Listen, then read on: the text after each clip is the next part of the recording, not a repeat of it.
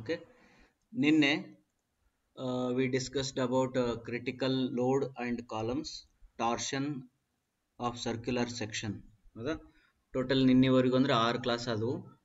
Six days ಒಳಗಡೆ we completed as per the time table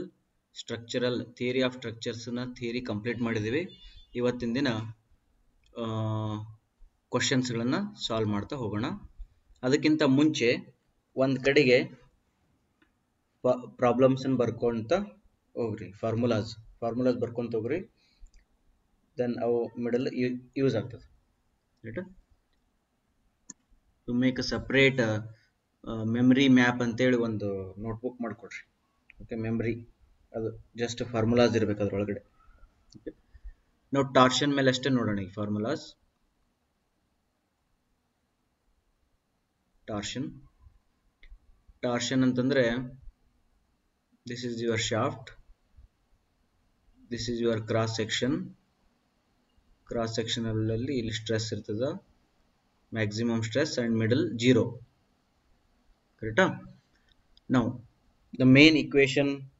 torsion equation is T by J equal to tau by R equal to G theta by L okay this is the main equation ರೈಟಾ ಇಲ್ಲಿ T ಅಂದ್ರೆ torque J ಅಂದ್ರೆ polar moment of inertia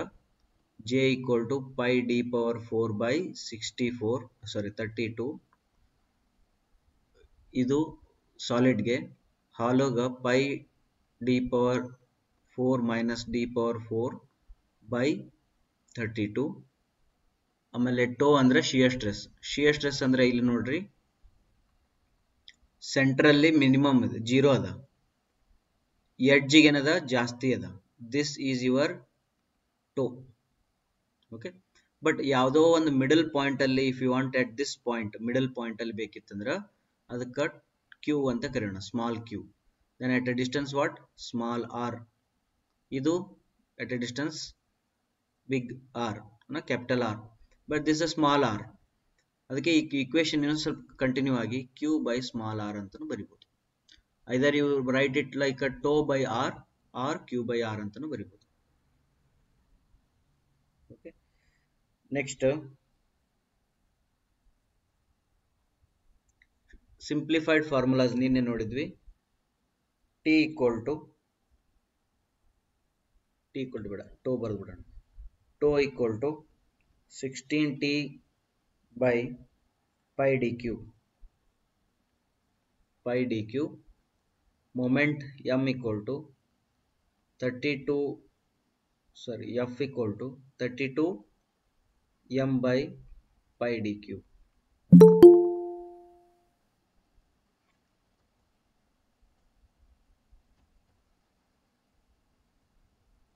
okay next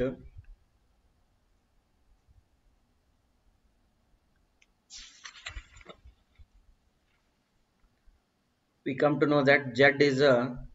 polar sectional section modulus. Polar section modulus andre J by R. For solid circular section it is pi by 16 d cube. For hollow circular section it is pi by 16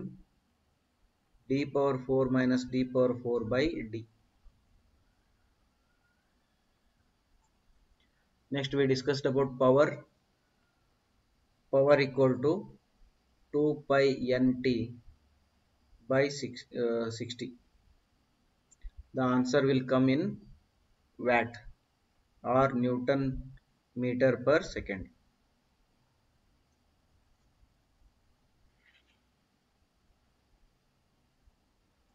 next we have combined effects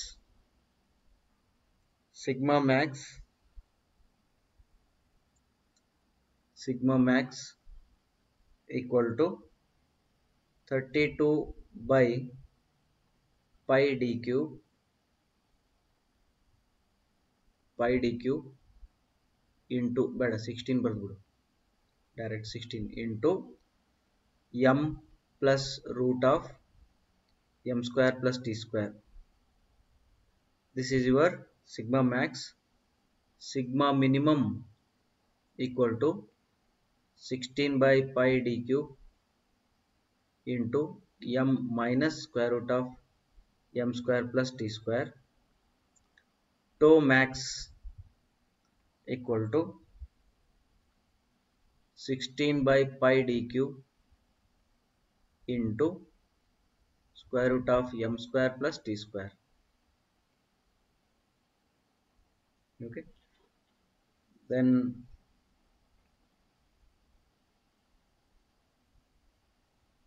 next equivalent torque tau equivalent equal to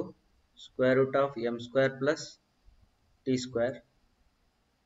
equivalent moment is equal to ಅಥವಾ equivalent no, sorry equivalent torque t is equal to this one equivalent moment equal to m plus square root of m square plus t square okay these many formulas are there we'll go questions one by one.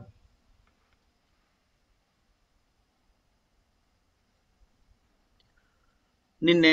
Made ಇಂದ ಒಂದು book ತರಿಸಿದ್ದೀನಿ ಅದು book ಏನಂತಂದ್ರೆ previous year S S C questions ಅಂತೇಳಿ S S C J questions ಇನ್ನು ಮುಂದೆ ನಾವೆಲ್ಲರೂ ಏನು ಮಾಡೋದಂದ್ರೆ ಪ್ರೀವಿಯಸ್ ಇಯರ್ ಕ್ವಶನ್ ಪೇ ಕ್ವಶನ್ ಪೇಪರಲ್ಲಿ ಕೇಳಿದ ಕ್ವಶನ್ಸನ್ನು ಸಾಲ್ವ್ ಮಾಡ್ತಾ ಹೋಗೋಣ ಓಕೆ ಥಿಯರಿ ಆದ ತಕ್ಷಣ ಅನ್ನ ಪ್ರೀವಿಯಸ್ ಇಯರ್ಲಿಂದ ಸಾಲ್ವ್ ಮಾಡ್ತಾ ಹೋಗೋಣ ನಾನು ನಿಮಗೆ ದಿನಾಲೂ ಆ ಬುಕ್ದಿಂದ ಯಾವ ಟಾಪಿಕ್ ಕವರ್ ಮಾಡ್ತೀನಲ್ಲ ಅದರಲ್ಲಿ ಎಷ್ಟು ಬುಕ್ ಕ್ವಶನ್ಸ್ ಇರ್ತಾವ ಎಲ್ಲ ಕ್ವಶನ್ಸನ್ನು ನಿಮ್ಗೆ ಕಳಿಸಿಬಿಡ್ತೀನಿ ಸೊ ದಟ್ ಎಷ್ಟು ಕ್ಲಾಸ್ ಒಳಗಾಗ್ತದೆ ಆಗ್ತದೆ ಅಷ್ಟು ಕ್ಲಾಸಲ್ಲಿ ಡಿಸ್ಕಷನ್ ಮಾಡ್ತೀವಿ ಉಳಿದಿದ್ದನ್ನು ನೀವು ಮನೆಯಲ್ಲಿ ಪ್ರಾಕ್ಟೀಸ್ ಮಾಡ್ಬೋದು ಡೌಟ್ಸ್ ಯಾವ ರೀತಿ ಅಂದ್ರೆ ಶಾಟ್ ಹೊಡೆದು ವಾಟ್ಸಪ್ ಗ್ರೂಪಲ್ಲೇ ಹಾಕ್ರಿ ಪರ್ಸ್ನಲ್ ಕಳಿಸ್ಬೇಡ್ರಿ WhatsApp ಗ್ರೂಪಲ್ಲೇ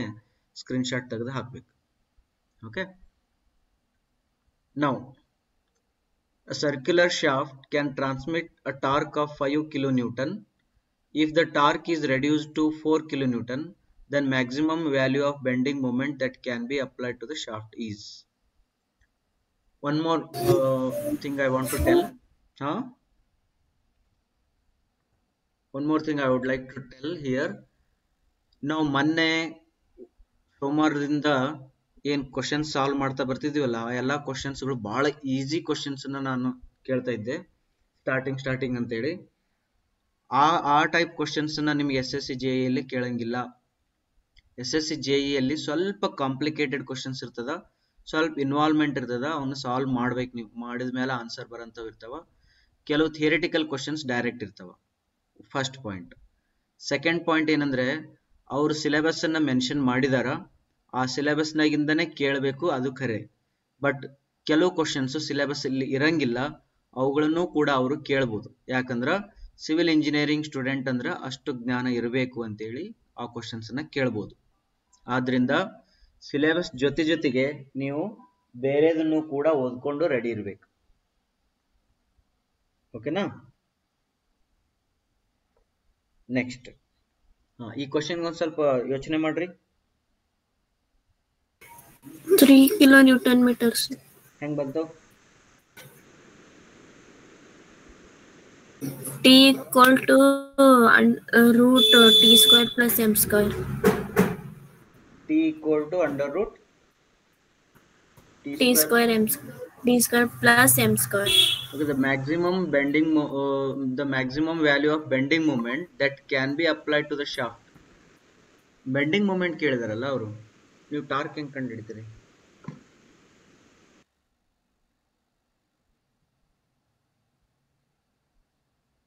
T equal to M square plus T square ಅಂತ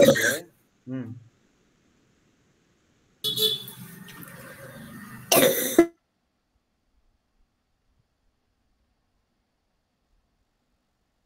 ಸರ್ ಎಂ ಅಂದ್ರೆ ಬೆಂಡಿಂಗ್ ಮೂಮೆಂಟ್ ಎಂ ಅಂದ್ರೆ ಬೆಂಡಿಂಗ್ ಮೂಮೆಂಟ್ ಅದು ಸರ್ ಅಂದ್ರೆ ಒನ್ ಟಾರ್ಕ್ ಕೊಟ್ಟಾರ sir transmitter torque is five kilo newton metre ಅದಾದ್ಮೇಲೆ reduce the four kilo newton metre ಅಂತ ಹೇಳಿ ಅವರ ಹೇಳ್ಯಾರ ಸರ್ ಅಂದ್ರೆ ನಮ್ ಟಿ ಈಕ್ವಲ್ ಟು ಅದು ಫಾರ್ಮುಲಾ ಹಾಕಿದ್ರ three kilo newton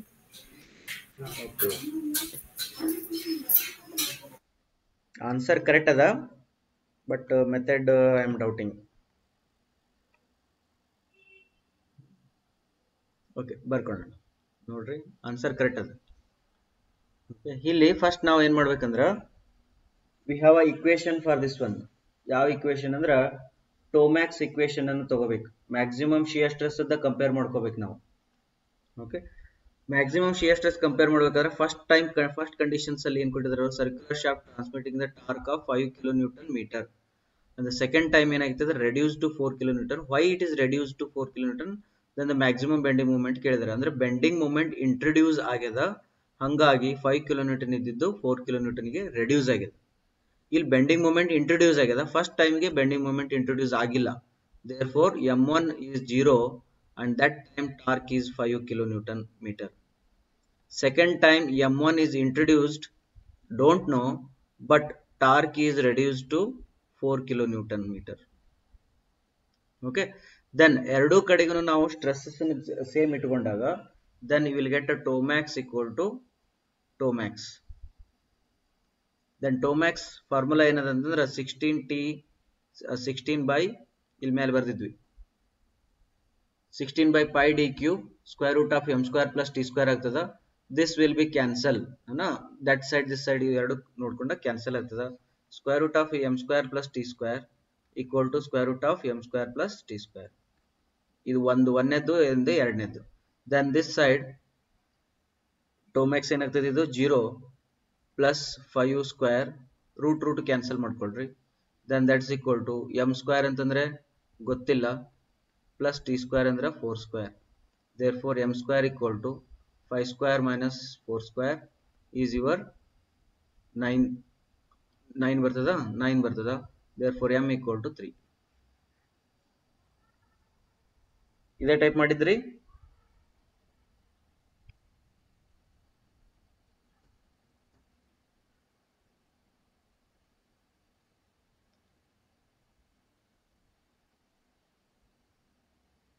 okay will go to the next question second question ಈ ಸೆಕೆಂಡ್ ಕ್ವಶನ್ ನೋಡ್ರಿ ಸ್ವಲ್ಪ ಥಿಯರಿಯಲ್ಲಿ ಇಲ್ಲ ಇದು ಸಿಲೆಬಸ್ ಅಲ್ಲಿ ತಿನ್ ಸಿಲಿಂಡರ್ಸ್ ಕೊಟ್ಟಿಲ್ಲ ಯಾರಿಗಾದ್ರೂ ಆನ್ಸರ್ ಗೊತ್ತದ ಇಂಥ ಕ್ವಶನ್ಸ್ ಬಂದ್ಬಿಡ್ತಾವ ಮೇಲೆ Here the question is asked like a open-ended cylinder, thin cylinder shell subjected to a uniform internal pressure will subjected to ಒಂದು ಸಿಲಿಂಡರ್ ಅದ ಆ ಸಿಲಿಂಡರ್ ಅಲ್ಲಿ in all directions internal pressure ಆಗ್ತಿದ್ರೆ ಒಳಗಡೆ ಯಾವ ಸ್ಟ್ರೆಸ್ ಡೆವಲಪ್ ಆಗುತ್ತಾ ಅಂತ ಕೇಳಿದರು ಯಾವ ಸ್ಟ್ರೆಸ್ ಡೆವಲಪ್ ಆಗ್ತದೆ ಅಂದ್ರೆ ಎರಡು ಸ್ಟ್ರೆಸ್ ಡೆವಲಪ್ ಆಗ್ತದೆ both hoop stress and longitudinal stress chapter thin and thick cylinders thin and thick cylinders ನಿಮ್ಮ ಇದರೊಳಗಡೆ ಮೆನ್ಷನ್ ಮಾಡಿಲ್ಲ ಅವರು ಸಿಲೆಬಸ್ಸಲ್ಲಿ ಓಕೆ ಬಟ್ ಇದ್ರ ಮೇಲೆ ಕೇಳಿದ್ರು ಕ್ವಶನ್ ನೆಕ್ಸ್ಟ್ ಕ್ವಶನ್ ಇದು ಬಯೋಟಾಕ್ರೆ ಇಲ್ಲ ಆ ಚಾಪ್ಟರ್ ನೋಡ್ಕೋಬೇಕು if a circular shaft is subjected to T ಅಂದ್ರೆ the bending moment M then the ratio of maximum bending stress and shear stress is given by ಯಾರು ಹೇಳ್ತೀರಿ maximum bending stress and shear stress easy ಅದ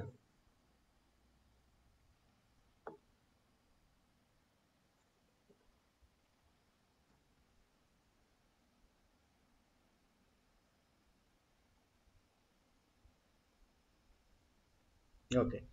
look at here maximum bending stress and maximum shear stress ಅಂತ ಕೇಳಿದರು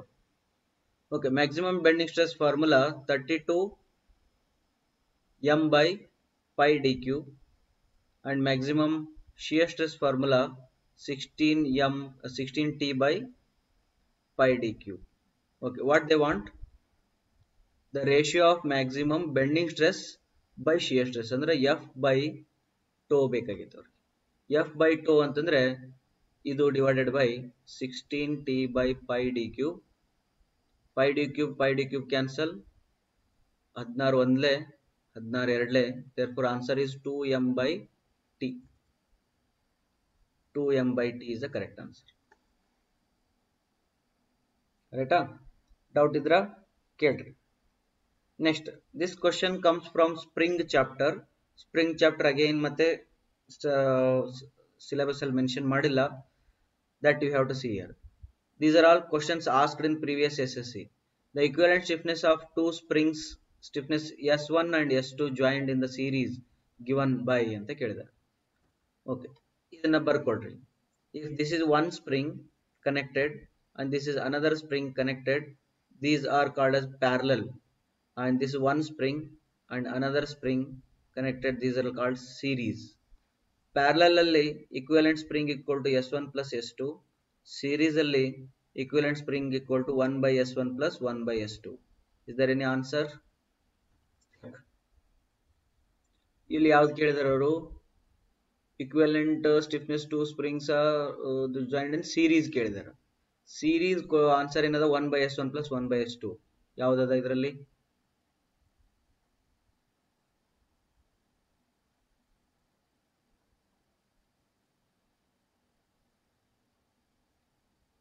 sorry one बैसलेंट equal to very important नोड्री ये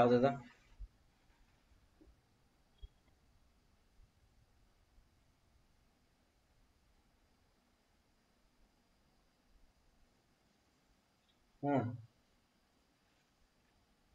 नोडिया C sir C option no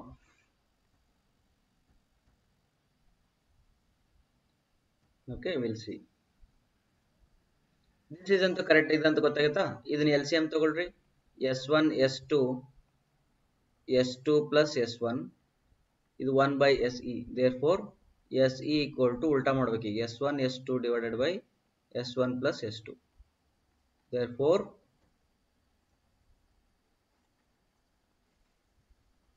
B option ಅಲ್ಲ A option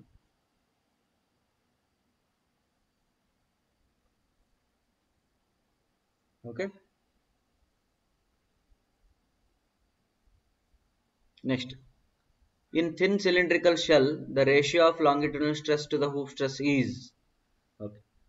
ಬರ್ಕೊಡ್ರಿ thin cylindrical and thick cylinder ಅಂತೇಳಿ ಎರಡು ಬರ್ತದ ಈಗ ನಾವು they are asking in thin cylinder thin cylinder ಅಲ್ಲಿ ಕಾನ್ಸೆಪ್ಟ್ ಹೇಳ್ತದ if this is a cylinder then internal stresses are there internal stresses will be there in all around then because of this it will it will break like this okay this will break like this and uh, it can break like this also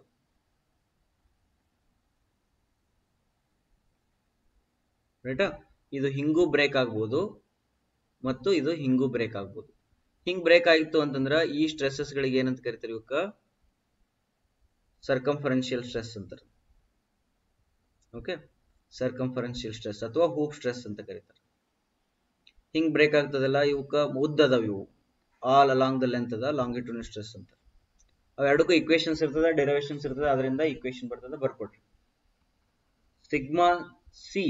ಅಥವಾ sigma h hoop stress is equal to p d by two t Pd by 2T. P pressure, D diameter, T thickness. Then longitudinal stress is equal to Pd by 4T. Pd by 4T. Okay. Then what they are asking, just see the question. Thin cylindrical shaft, ratio of longitudinal sigma L by hoop stress sigma H. Therefore, sigma L by sigma H equal to PD by 4T divided by PD by 2T. PD, PD cancel, TT cancel, 2 will go to the top, 4 will be there here, therefore the answer is 0.5. Right? check it. A is the correct answer. Now, ಇದು ಭಾಳ easy ಐತಿ ಹೇಳ್ಬೇಕಿದೆ ಯಾರು ಒಬ್ರು angle of a circular shaft under the action of action of t is given by angle of twist theta equation ಕೇಳಕತ್ತಾರ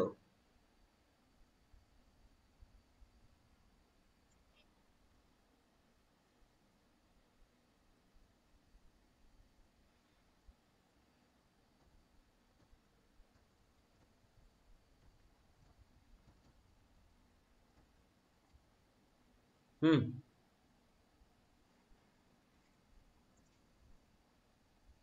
easy question ಅದ ಹೇಳ್ರಿ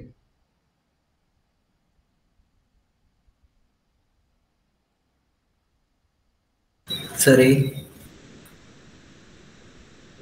A option check ಮಾಡು okay we'll solve it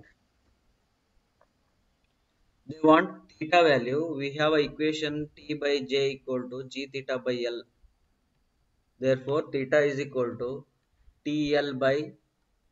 tl by g jg ಅಥವಾ gj okay which option B option dl G gg ಹುಷಾರಿರ್ಬೇಕು hmm next two shafts of the same length and material are joint in series if the ratio of their diameter two then the ratio of angle of twist will be first we have to understand ನಿನ್ನೆ ನೋಡಿದ್ವಿ okay if the shafts are in series ಏನು same ಇರ್ತದ if this is angle uh, shafts 1 and 2 if the shafts are same in t1 equal to t2 agtada. but theta equal to theta 1 plus theta 2 agtada. ಈಗ ನಮಗ ಏನ್ ಕೇಳ್ಯಾರ ಅವರು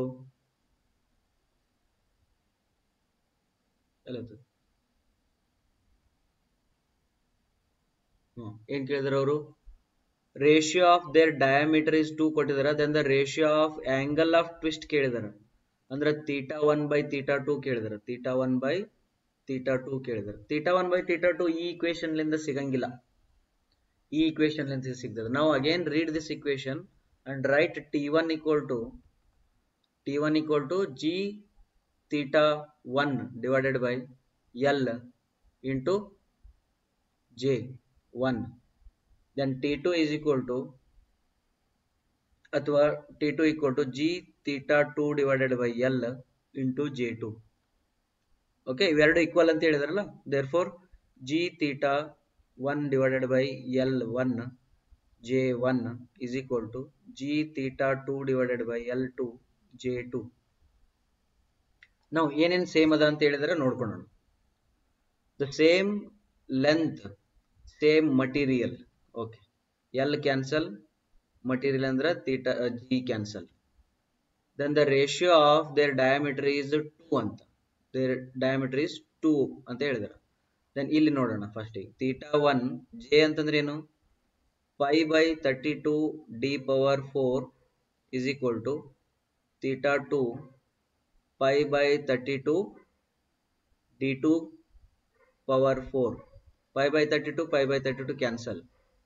theta 1 by theta 2 is equal to theta 1 by theta 2 is equal to d2 power 4 divided by d1 power 4 d2 by d1 d2 by d1 power 4 is equal to d2 by d1 ಅಂದ್ರೆ rest 2 2 by d1 under 2 therefore 2 power 4 is equal to 16. 16. Therefore, the answer is 16. Any doubt? Okay. Now we'll go to the next one. For a hollow sh shaft, hollow,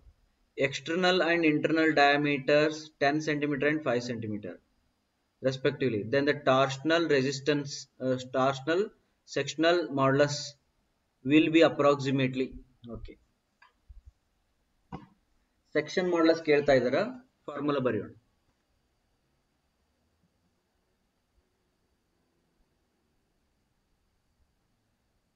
okay section modulus formula ಏನು z is equal to ಸ್ವಲ್ಪ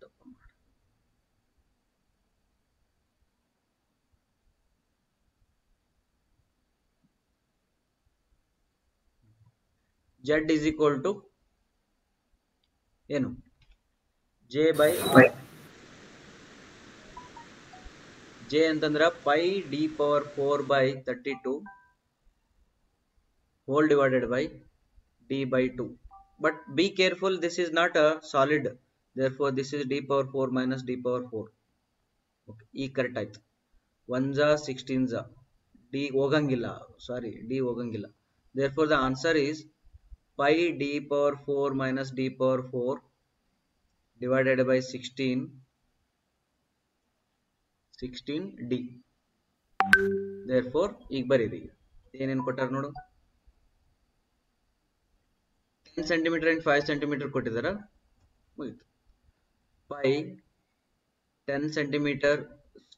power four minus five power four divided by sixteen into 10 okay ಎಷ್ಟಾಗ್ತದ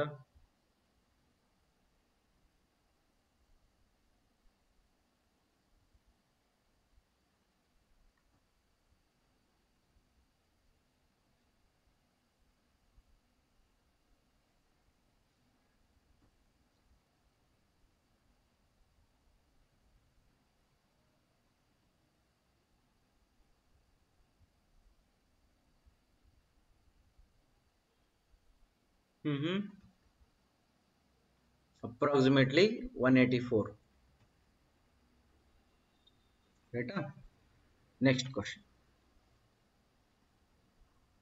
Solid circular shaft, solid as a has been subjected to a pure torsion moment.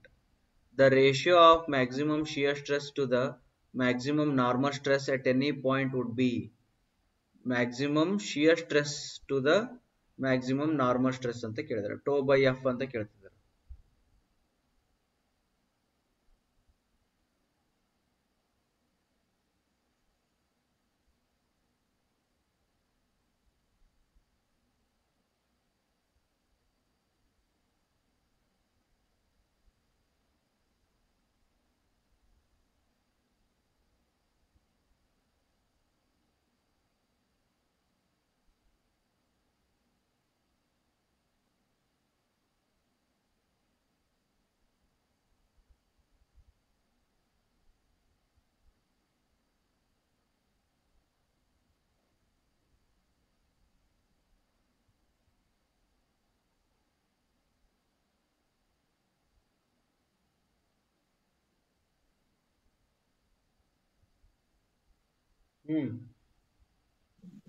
ಎ sir ಹೆಂಗ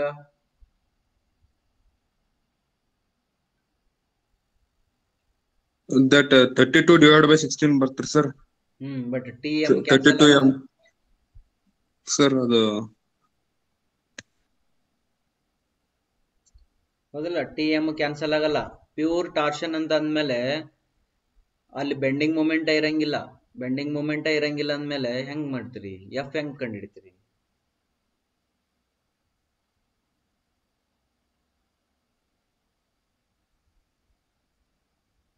question ಅರ್ಥ ಆಯ್ತಲ್ಲ sir maximum normal stress formula use ಮಾಡ್ಕೋಬಹುದು ಹಾ maximum normal stress formula ಹೇಳ್ರಿ x plus y y 2 ah ಅದರಿಂದ simplify ಮಾಡಿದಿತ್ತಲ್ಲ ನಿನ್ನೆ 16 16 by pi d cube pi d cube into hmm M plus square root of m square plus T square okay ಇಲ್ಲಿ ಬಂದಾಗ ಏನ್ ಮಾಡ್ಬೇಕು ಗೊತ್ತಾ M equal to zero because moment is not there then M zero ಆದ್ರೆ ಏನಾಯ್ತು ಈಗ square root cancel ಆಗಿ sixteen T by pi d cube ಬಂತಿದು ನೋಡು ಮ್ಯಾಕ್ಸಿಮಮ್ ನಾರ್ಮಲ್ ಸ್ಟ್ರೆಸ್ ಅಷ್ಟೇ ಬಂತು ಶಿಯರ್ ಸ್ಟ್ರೆಸ್ ಅಂತ ನಮ್ಗೆ ಗೊತ್ತೇ ಅದ ನೀವು ಡೈರೆಕ್ಟ್ ಆಗಿ ಬರಿಬೋದು ಅಥವಾ ಇದ್ರದ ಫಾರ್ಮುಲಾ ಐತಿ ಇನ್ನೊಂದು sixteen pi d cube into square root of M square plus T square ಅಂತೇಳಿ ಇದ್ರೊಳಗೂ ಮತ್ತೆ ಎಮ್ ಈಕ್ವಲ್ ಟು ಜೀರೋ ಆದ್ರೆ ಇದು ಹೋಗ್ತದ ರೂಟು ಸ್ಕ್ವೇರ್ ಕ್ಯಾನ್ಸಲ್ ಆಗ್ತದ ಮತ್ತೆ sixteen T by five d cube ಆಗ್ತದೆ therefore one is to one is the correct answer any doubt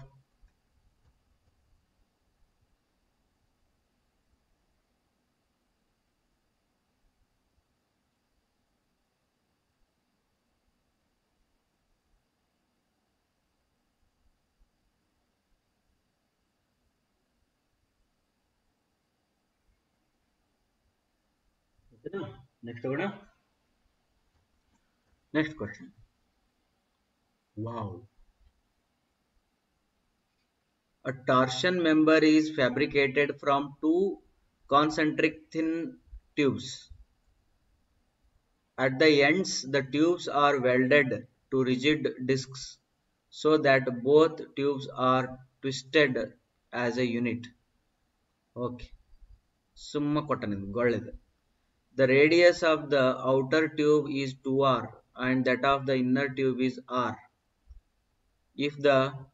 ಇಷ್ಟು ಸಾಕಿತ್ತು ನಮಗೆ ಅಂದ್ರೆ ಇದು hollow circular hollow hollow circular ಅಂತ ಹೇಳ್ಬೋದಿತ್ತು ಇದಿಷ್ಟನ್ನು ಕಟ್ ಹಾಕಿ ಹಾಲೋ ಸರ್ಕ್ಯುಲರ್ ಅಂತ ಹೇಳ್ಬಿಟ್ಟು ಮುಗ್ದೋದು if the shear stress developed in the outer tube is tau tau naught then the shear stress in the inner tube will be ಅಂತ ಕೇಳ ಎಷ್ಟು easy ಆಯ್ತು ಸುಮ್ಮ ಕಾಂಪ್ಲಿಕೇಟ್ ಮಾಡಿ ಹೇಳ್ತೀರಿ ಯಾರು ಕ್ಯಾಲ್ಕುಲೇಟ್ ಮಾಡ್ತೀರಿ ಇದು ಒಂದು ಇದ್ರ ಒಳಗಡೆ ಒಂದು ಇದು ಟೂ ಆರ್ ಅದ ಇದು ಆರ್ ಅದ ಓಕೆನಾ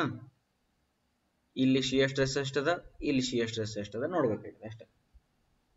ಇಲ್ಲಿ ಶಿಯ ಸ್ಟ್ರೆಸ್ ಟೋ ನಾಟ್ ಅದ ಅಂತ ಇಲ್ಲಿ ಎಷ್ಟಿರ್ತದ ಅಂತ ಕೇಳಿದ ಓಕೆ ನಾವು ಇಕ್ವೇಶನ್ ಒಳಗೆ ಇವತ್ತು ಒಂದು ಆ್ಯಡ್ ಮಾಡಿದೀವಿ ನಾವು ಏನಂತ tau by R is equal to q by R ಅಂತೇಳಿ ಕರೆಕ್ಟಾ this is your tau naught divided by R ಎಷ್ಟದ ಇಲ್ಲಿ ಟೂ ಆರ್ ಅದ ಈಸ್ ಈಕ್ವಲ್ ಟು ಕ್ಯೂ ಅಂತಂದ್ರೆ ಗೊತ್ತಿಲ್ಲ ಕ್ಯೂ ಡಿವೈಡೆಡ್ ಬೈ ಆರ್ ಅಂತಂದ್ರೆ ಆರ್ ಅದ ರೈಟಾ what they want q is equal to R R cancel then point five times tau naught is the correct answer C the option Point 0.5 do not is the correct answer. Any doubt?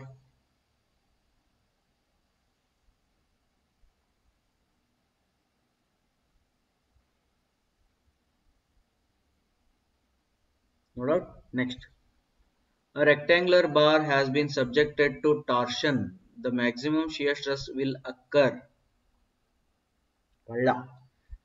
S S C two thousand seventeen ಒಳಗೆ ಕೇಳ್ಯಾನ I think ಆ syllabus ಒಳಗಡೆ ಏನಾದರೂ ಇದ್ರೂ ಇರ್ಬೋದು syllabus ಒಳಗೆ but ಈ syllabus ಒಳಗೆ ಸರ್ಕ್ಯುಲರ್ ಸೆಕ್ಷನ್ ಅಂತ ಕೇಳಿರೋದ್ರಿಂದ ಇಲ್ಲಿ ಕೇಳಲಿಕ್ಕಿಲ್ಲ ಬಟ್ ಹೇಳಂಗಿಲ್ಲ ಮೋಸ ಮಾಡ್ಬೋದು ಹೋಗಿಲ್ಲ ಮನುಷ್ಯರ ಮೋಸ ಮಾಡ್ತಾರಂತೆ ಇನ್ ಕ್ವಶನ್ ಪೇಪರ್ ಮೋಸ ಮಾಡೋದ್ರಲ್ಲಿ ಏನೈತಿ ಹೋಗಿಲ್ಲ ಹಾಗಾಗಿ don't tick to syllabus read everything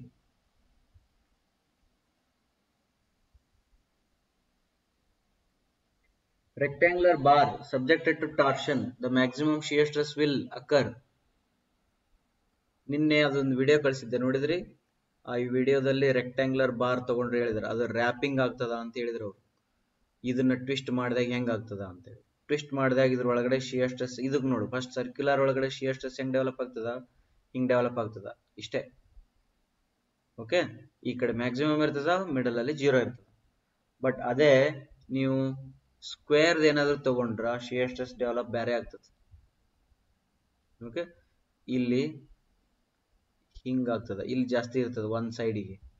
plus corner ಸೈಡ್ಗೆ ಏನಾರ ನೀವು ಹೋಗಿದ್ರೆ ಏನಾಗ್ತದ ಅಲ್ಲಿ ಜೀರೋ ಇರ್ತದೆ ಸ್ಟ್ರೆಸ್ ಇಲ್ಲಿ ಜೀರೋ ಇರ್ತದ ಒಂದು ಸೈಡ್ಗೆ ಎಷ್ಟು ಜಾಸ್ತಿ ಇರ್ತದ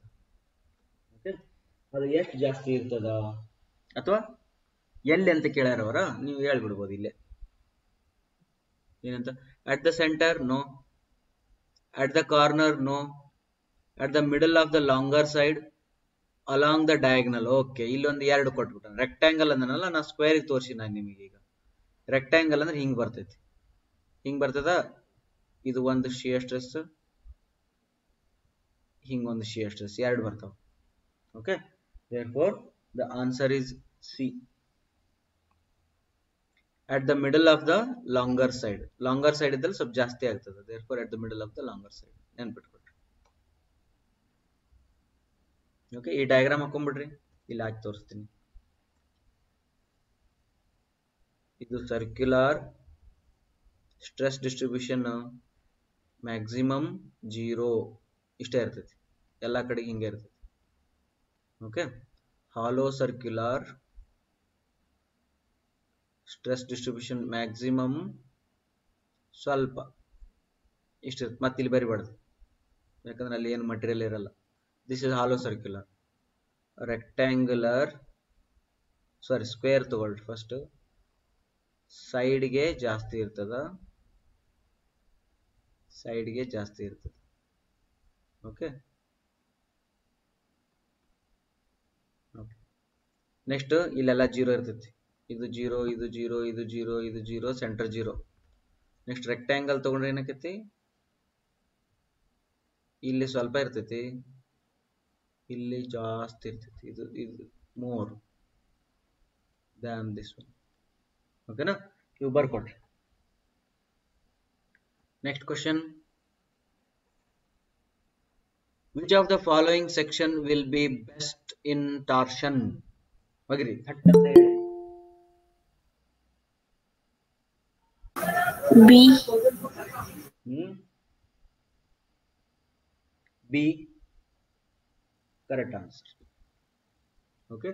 Hollow circular section is the best one ನಿನ್ನೆ ನೋಡಿದ್ವಲ್ಲ ನಾವು ಮಿಡಲ್ ಅಲ್ಲಿ ಸ್ಟ್ರೆಸ್ ಕಡಿಮೆ ಇರ್ತದೆ ಇಲ್ಲಿ ಡಯಾಗ್ರಾಮ್ ಹಾಕಿದ್ದೆ ನೋಡಿ ತೋರಿಸ್ತೀನಿ ಓಕೆ ಇಲ್ಲಿ ಮಿಡಲ್ ಅಲ್ಲಿ ಸ್ಟ್ರೆಸ್ ಏನಿರ್ತದ ಕಡಿಮೆ ಇರ್ತದ ಇಷ್ಟು ಜಾಗ ಹಂಗಾಗಿ ಏನ್ ಮಾಡ್ತಾರ ಇದನ್ನ ಸೇವ್ ಮಾಡೋಣ ಮಟೀರಿಯಲ್ ಅಂತೇಳಿ ತೆಗೆದು ಬ್ಯಾರೆ ಕಡೆ ಒಂದು ಸ್ವಲ್ಪ ಅಗ್ಲ ಮಾಡ್ಕೊಂತಾರ ಸ್ವಲ್ಪ ಅಗ್ಲ ಮಾಡ್ತಾರ ಯಾಕಂದ್ರೆ ಇಲ್ಲಿ ಬಾಳ ತೆಗ್ದಿರ್ತೀರಿ ಬಟ್ ಪೆರಿಮೀಟರ್ ಒಳಗೆ ಹೋದ್ರೆ ಸ್ವಲ್ಪ ಅಗ್ಲ ಆಗ್ತದೆ therefore hollow circular section material save ಆಗ್ತದೆ next if a close coiled helical spring absorb five hundred newton metre of energy while extending five m m its stiffness will be ಇದು out of syllabus ಈಗಿನ ಪ್ರಕಾರ out of syllabus ಯಾರು answer ಮಾಡ್ತೀರಿ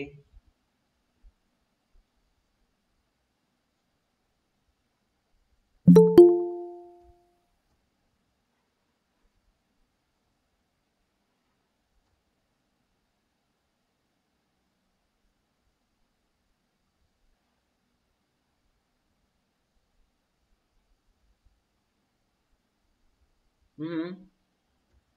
first stiffness ಅಂದ್ರೆ ಏನಂತ ನಿಮ್ಗೆ ಹೇಳ್ತೀನಿ ಆಮೇಲೆ ಥಿಂಕ್ ಮಾಡ್ರಿ ಸ್ಟಿಫ್ನೆಸ್ ಅಂತಂದ್ರ ಸ್ಪ್ರಿಂಗಿಗೆ ಅಥವಾ ಯಾವ್ದಾದ್ರು ಒಂದು ಮಟೀರಿಯಲ್ಗೆ ಇರ್ತದೆ ದಿಸ್ ಈಸ್ ಸ್ಪ್ರಿಂಗ್ ಅಂತ ತಿಳ್ಕೊಳ್ರಿ ಈ ಸ್ಪ್ರಿಂಗಿಗೆ ಫಸ್ಟ್ ಸ್ಟಿಫ್ನೆಸ್ ಫಾರ್ಮುಲಾ ಏನು ನೋಡ್ರಿ stiffness equal to force required to produce unit displacement ಅಂತ that is newton per metre is a unit force required to produce unit displacement ಅಂತ ಅಂದ್ರೆ ಒಂದು ಸ್ಪ್ರಿಂಗ್ ಅದ ಅಂತ ತಿಳ್ಕೊಳ್ರಿ ಈ ಸ್ಪ್ರಿಂಗ್ ಅನ್ನ ಫಿಕ್ಸ್ ಅದ ಎಷ್ಟು ಫೋರ್ಸ್ ಹಾಕಿದ್ರ ಒಂದು ಎಮ್ ಎಮ್ ವರ್ಗ ಬರ್ತದ ಒಂದ್ ಮೀಟರ್ ಅಂತ ತಿಳ್ಕೊಡ್ ಒಂದ್ ಮೀಟರ್ ವರ್ಗ ಬರ್ತದ ಎಷ್ಟು ಫೋರ್ಸ್ ಹಾಕಿದ್ರೆ ಒಂದ್ ಮೀಟರ್ ಬರ್ತದ ಅಥವಾ ಒಂದ್ ಮೀಟರ್ ಜಗ್ಗಕ ಎಷ್ಟು ಫೋರ್ಸ್ ಹಾಕಬೇಕು ಅದು ನಿಮ್ದು ಸ್ಟಿಫ್ನೆಸ್ ಹಾಗಾದ್ರೆ ಇಲ್ಲಿ ಏನ್ ಹೇಳಿದೆ ನೋಡ್ರಿ ಈಸಿ ಅದ the absorb thirty newton metre of energy while extending five M M then the stiffness will be ಅಂತ ಕೇಳಿದೆ ಅದು ಟೋಟಲ್ ಎನರ್ಜಿನ ಎಷ್ಟು ಅಬ್ಸರ್ವ್ ಮಾಡ್ತದ ಅಂತ ಥರ್ಟಿ ನ್ಯೂಟನ್ ಮೀಟರ್ ಎನರ್ಜಿನ ಅಬ್ಸರ್ವ್ ಮಾಡ್ತದ ಇಷ್ಟು ಅಬ್ಸರ್ವ್ ಮಾಡಿ ಫೈವ್ ಎಮ್ ಎಮ್ ಎಕ್ಸ್ಟೆಂಡ್ ಆಗತ್ತದ ಫೈವ್ ಎಮ್ ಎಮ್ ಎಕ್ಸ್ಟೆಂಡ್ ಆಗತ್ತದ ಓಕೆ ಹಾಗಾದ್ರೆ ಈ ಸ್ಪ್ರಿಂಗ್ ಸ್ಟಿಫ್ನೆಸ್ ಎಷ್ಟು ಅಂತ ಕೇಳ್ತದೆ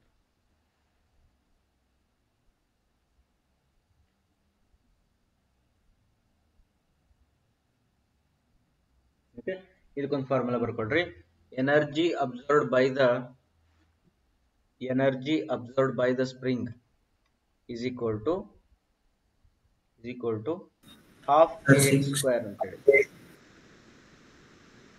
half kx square then half k ಅಂತಂದ್ರೆ stiffness x ಅಂತಂದ್ರೆ that is what we are going to ಅಲ್ಲ displacement 5 square okay then energy is given here provided all are in correct unit ಇದು thirteen newton metre ಒಳಗದ ಇದು five ಎದ್ರೊಳಗದ five M m ಒಳಗದ ಇದು m m ಒಳಗದ ಹುಷಾರಾಗಿರ್ಬೇಕು ಇಲ್ಲಿ metre ಅದ ಇಲ್ಲಿ ಎಮ್ ಎಮ್ ಅದ ದನ್ ಕೆ ಏನು ಬರ್ತದ ನೋಡ್ಕೋಬೇಕು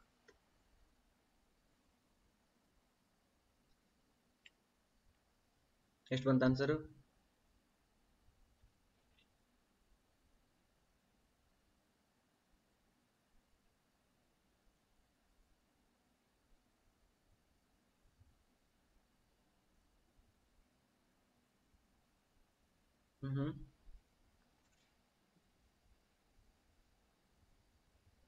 thirty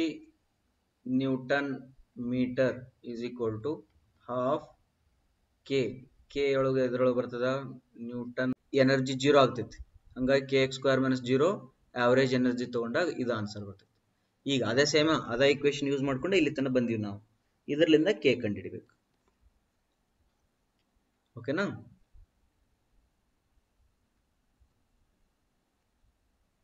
Import data. Okay. Next. ಇದು ಆಪ್ಷನ್ ಕೊಟ್ಟಿಲ್ಲ ಬಿಡಿ ಸ್ಪ್ರಿಂಗ್ದು ಚಾಪ್ಟರ್ ಬೇಕಾದ್ರೆ ಲಾಸ್ಟಿಗೆ ಒಂದು ಸ್ವಲ್ಪ ಟೈಮ್ ಸಿಕ್ತಂದ್ರೆ ಸ್ಪ್ರಿಂಗ್ ಬಗ್ಗೆ ನಾನು ನಿಮಗೆ ಇದನ್ನ ಮಾಡ್ತೀನಿ ಒಂದು ಚಾಪ್ಟರ್ ಅದ ಒಂದು ನೋಟ್ಸನ್ನು ಕಳಿಸ್ತೀನಿ ಬೇಕಾದ್ರೆ ಅವಾಗ ಮಾಡೋಣ ಇದನ್ನು ಕೂಡ ಸ್ಪ್ರಿಂಗ್ ಅದ ಆಮೇಲೆ ನೋಡೋಣ Then now come to the torsion. A circular shaft is subjected to torque T which is half of the bending moment applied. Ah, note. Circular shaft subjected to torque T T which is half of the bending moment applied. andre ಏನಂತ ಬರಬೇಕು ಈಗ T equal to to M ಬರಬೇಕು T equal to M by two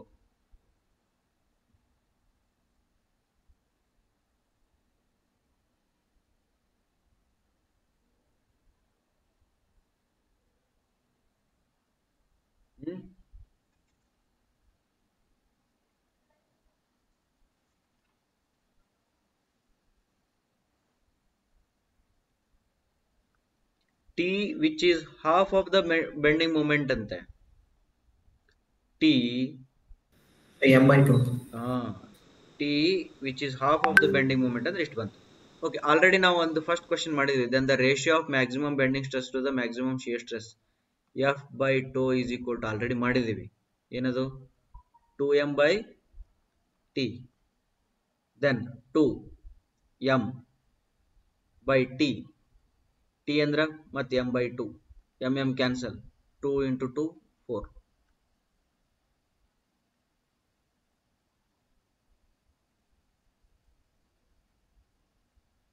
right on next yes sir study doubt 2m by t correct okay next the hoop stress induced in a thin cylinder by winding it with a wire under a tension will be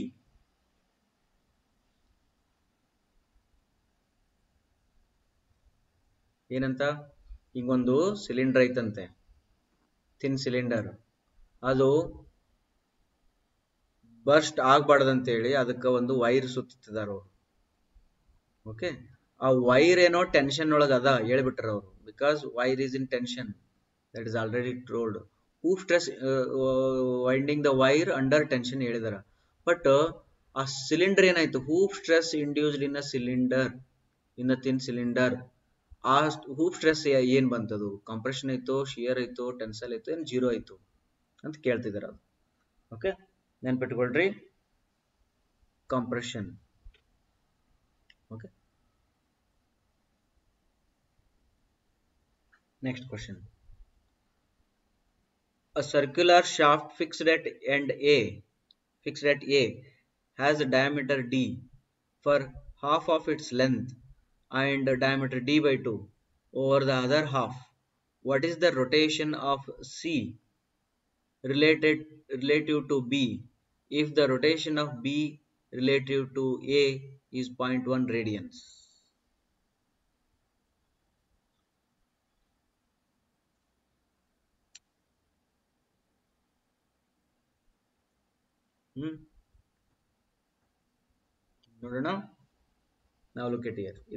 Diagram ಹಾಕ್ರಿ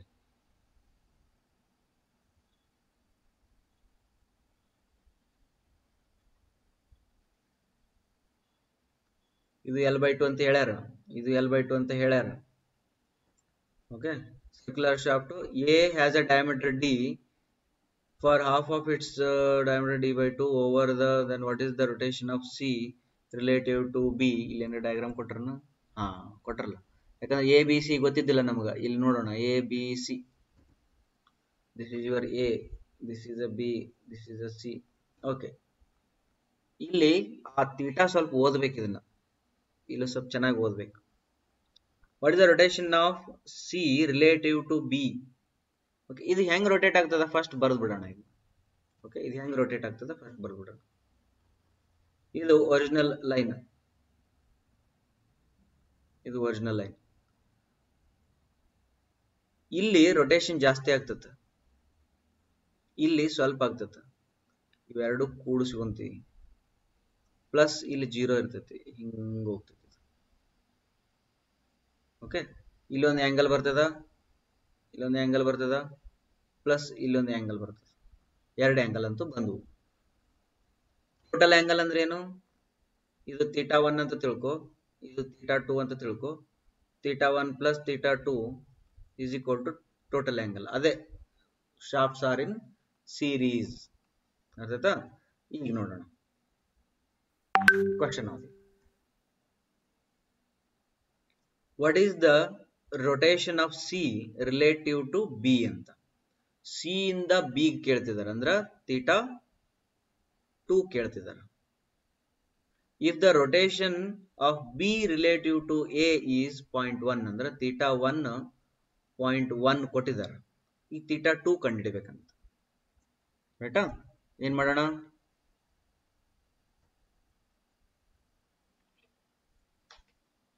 theta two ಕೊಟ್ಟಿದ್ದಾರೆ point one radians theta one ಕಂಡುಹಿಡಿಬೇಕು Chamber.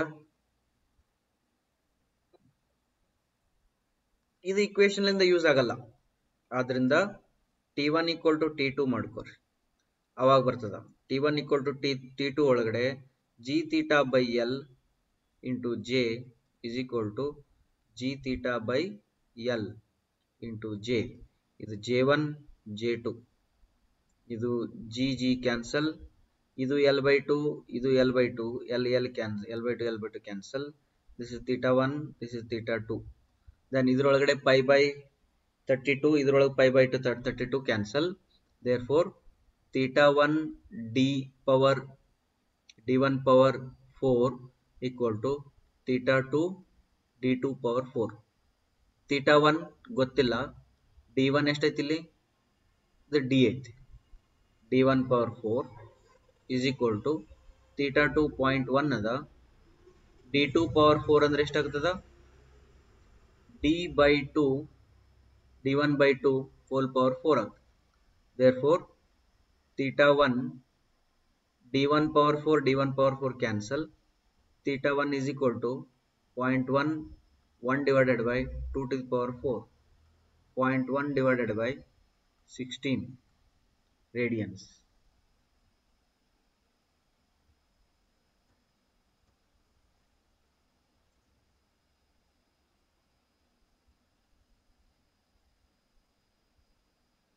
into ಆಗುತ್ತೆ ನೋಡ್ರಿ ಏನಾರು ತಪ್ಪು ಮಾಡಿ ನೋಡ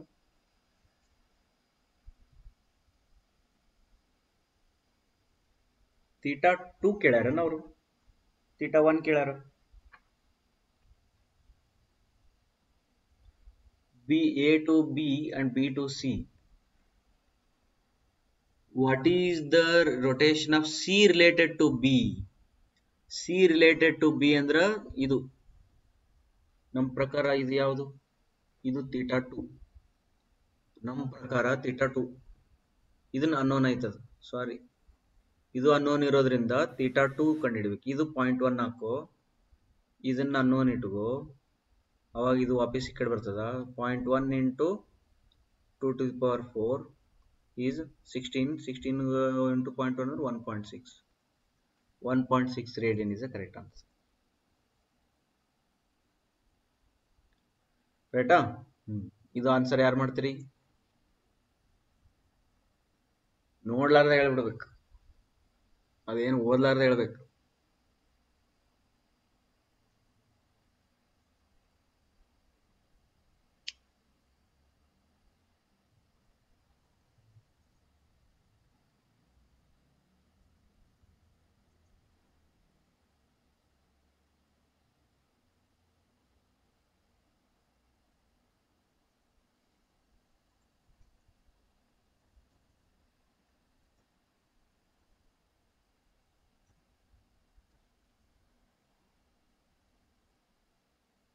system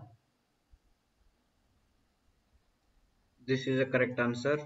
c is a correct answer next when thin cylindrical shell is subjected to an internal pressure there will be a decrease in diameter and length of the shell increase in diameter and decrease in length of the shell decreases in diameter and increase in the length of the shell. ಈ thin cylinder thick cylinder ಇನ್ನೊಂದು chapter ಐತೆ ಅದನ್ನ ಸ್ವಲ್ಪ ಓದ್ಕೊಳ notes ಕಳಿಸ್ತೀನಿ ಲಾಸ್ಟಿಗೆ first syllabus complete ಮಾಡ್ರಿ ಆಮೇಲೆ ಟೈಮ್ ಉಳಿತೈತಲ್ಲ ಹೋಗೋದಂತ್ರಿ pick up the incorrect statement from the following the torsional resistance of the shaft is directly proportional to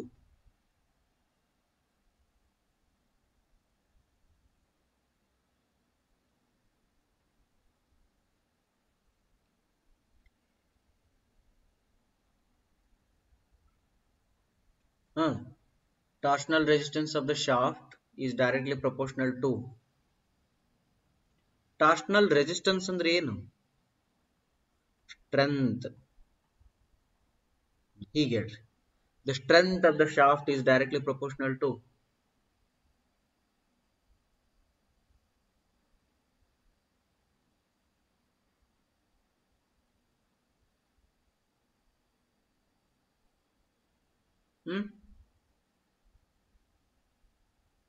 ಸರಿ ಇಲ್ಲಿ ಒಂದು ಟ್ವಿಸ್ಟ್ ಅದ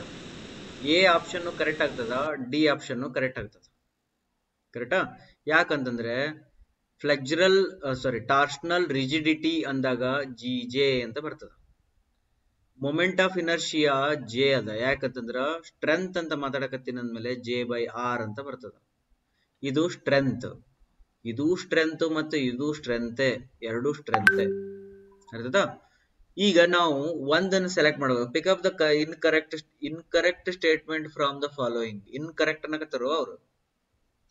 the torsional resistance of the shaft is directly proportional to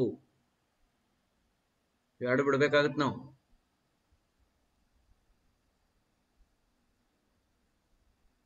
ಹೌದಾ ಇವೆರಡು incorrect ಅಂದ್ರ that is not the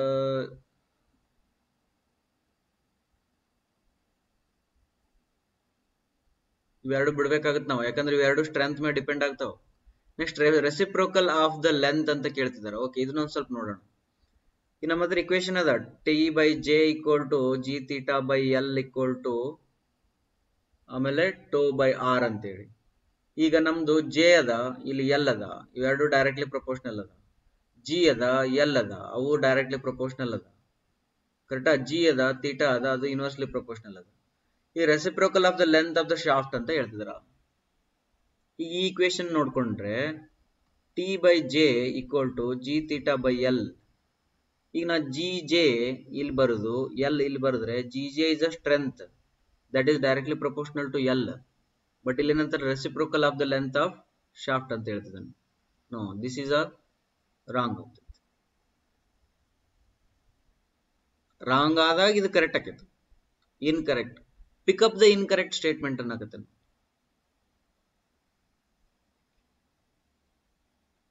ತಿಳಿದಿದ್ದೀತಿ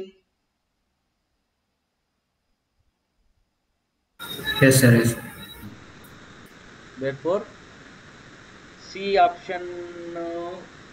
incorrect ಆಗ್ತೈತೆ incorrect ಆಗಿದ್ದಕ್ಕೋಸ್ಕರ ಕರೆಕ್ಟ್ ಆಕೈತೆ ಅದು ಓಕೆನಾ ಸ್ವಲ್ಪ ಹುಷಾರಾಗಿರು ನೆಕ್ಸ್ಟ್ ಶಿಯಾಜನ್ ಟಾರ್ಕ್ ಟ್ರಾನ್ಸ್ಮಿಟೆಡ್ ಟ್ಯೂಬ್ ಇದು thin tube thin and thick cylinder ಒಳಗೆ ಬರ್ತದ ಇದನ್ನ ಸ್ಕಿಪ್ ಮಾಡೋಣ shaft is subjected to bending moment M and torque T simultaneous the ratio of maximum bending stress to the maximum shear stress develop is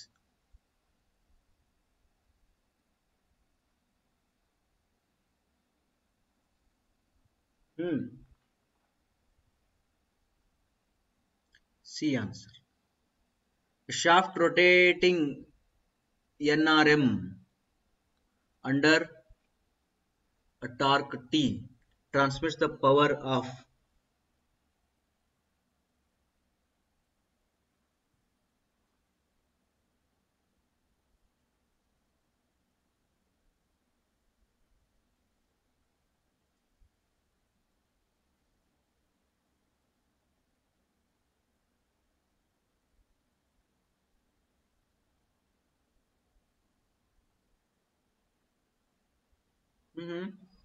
ನಮ್ಮ formula ಏನಿತ್ತು two pi N T by sixty ಇದು ನಮ್ಮ formula but ಈ formula newton metre per second ಐತನ್ formula ನೋಡ್ರಿ ಇಲ್ಲ two one ಜಾ two thirty ಹೊಡೆದ್ರ ಬಂತು option A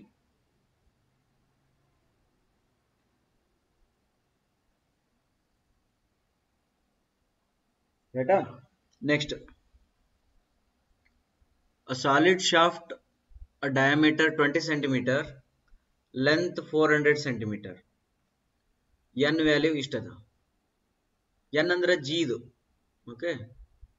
because newton per mm square our bhasha n nam bhasha g idu okay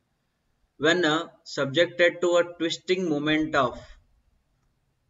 uh, twisting moment produces maximum shear stress of 50 newton per mm square the angle of twist in radians ಮಾಡ್ರಿ ಜಲ್ದಿ ಮಾಡ್ರಿ D ಕೊಟ್ಟಾರ D ಕೊಟ್ಟಾರ ಅಂದ್ರ R ಬರ್ತದ ಮತ್ತು J ಬರ್ತದ length ಕೊಟ್ಟಾರ ಅಂದ್ರೆ ಎಲ್ ಬರ್ತದ ಮತ್ತೆ ಜಿ ಕೊಟ್ಟಾರ ಮತ್ತೇನ್ ಕೊಟ್ಟಾರ ಮ್ಯಾಕ್ಸಿಮಮ್ ಶಿಯರ್ ಸ್ಟ್ರೆಸ್ ಅಂದ್ರೆ ಟೋ ಕೊಟ್ಟಾರ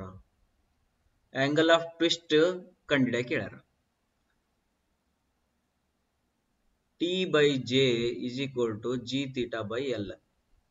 ಏನೇನ್ ಕೊಟ್ಟಾರ ಜಿ ಕೊಟ್ಟಾರ ಎಲ್ ಕೊಟ್ಟಾರ ಜೆ ಕೊಟ್ಟಾರ ತೀಟಾ ಕಂಡಿಡ ಕೇಳ್ಯಾರ ಓಕೆ ಟಿ ಕೊಟ್ಟಾರನು ಕೊಟ್ಟಿಲ್ಲ ಇನ್ನೊಂದು ಇಕ್ವೇಶನ್ ಬರೀ T by J equal to tau by R ಅಂತ ಬರೀ ಓಕೆ ಈಗ ಆರ್ ಕೊಟ್ಟಾರ ಜೆ ಕೊಟ್ಟಾರ ಟೋ ಕೊಟ್ಟಾರ ಟಿ ಕಂಡಿಡಿ ಟಿ ಇಲ್ಲಿ ಸಬ್ಸ್ಟ್ಯೂಟ್ ಮಾಡು ಟೀಟ ಕಂಡಿಡಿ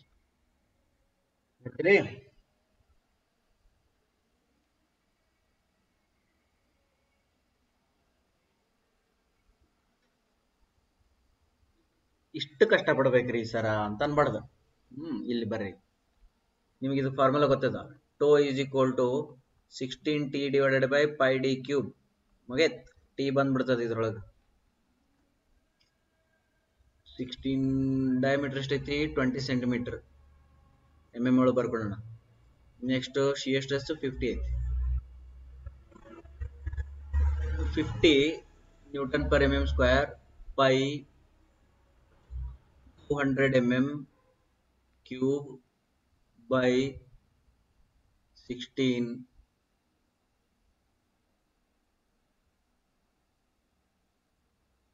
इष्ट ಅವಾಗ ಟಿ ಬರ್ತದೆ ಮಾಡ್ತಿರಿದ್ನ ಮಾಡಿ ಆನ್ಸರ್ ಎಷ್ಟು ಬರ್ತಂದ್ರೆ zero point zero two five radians theta equal to zero point zero two five radians option C in a shaft the shear stress is not directly proportional to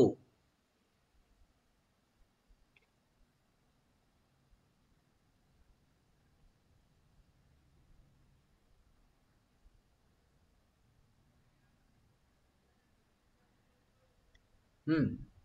shear stress ಅಂತ tau by R equal to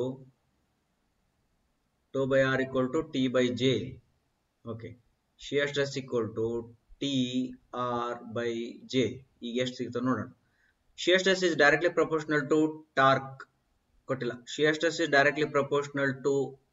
D diameter shear stress is inversely proportional to D ಇಲ್ಲಿ ಡೈರೆಕ್ಟ್ಲಿನೂ ಐತಿ ಇನ್ವರ್ಸ್ಲಿನೂ ಐತಿ ಆಯ್ತಾ ಇದ್ರೊಳಗೆ ಒಂದು D cancel ಆಗ್ತದ ಇದು ಇದು ಕ್ಯಾನ್ಸಲ್ ಆಗ್ತದ ಇಲ್ಲಿ ಡಿ ಡಿ ಕ್ಯೂ ಉಳಿತದ okay shear stress is inversely proportional to D D ಬಗ್ಗೆನೂ ಮಾತಾಡಿಲ್ಲ ಅವ ಬಿಟ್ಬಿಡು next tau by R is equal to G theta by L ಕರೆಕ್ಟಾ shear stress is directly proportional to G not directly proportional to G ಅಂತ ತಪ್ಪು shear stress is directly proportional to theta not directly proportional to theta ಅಂತಾನ ತಪ್ಪು shear stress is directly proportional to directly proportional to ಅಂತಾನ ತಪ್ಪು shear stress is not directly proportional to one by L correct ಐತಿ because inversely proportional to L ಐತಿ there four C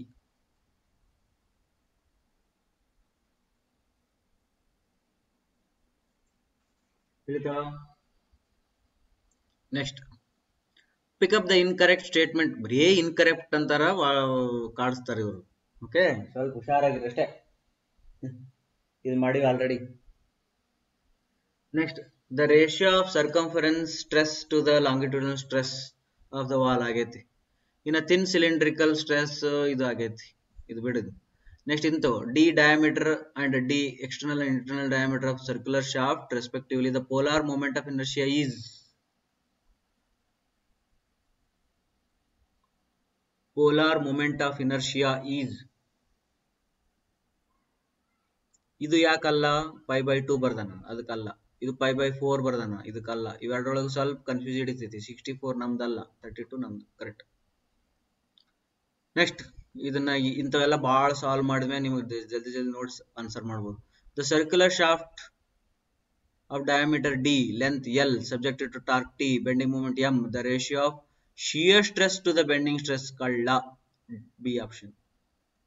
ಉಲ್ಟಾ ಕೇಳಿದ ಅಷ್ಟೆ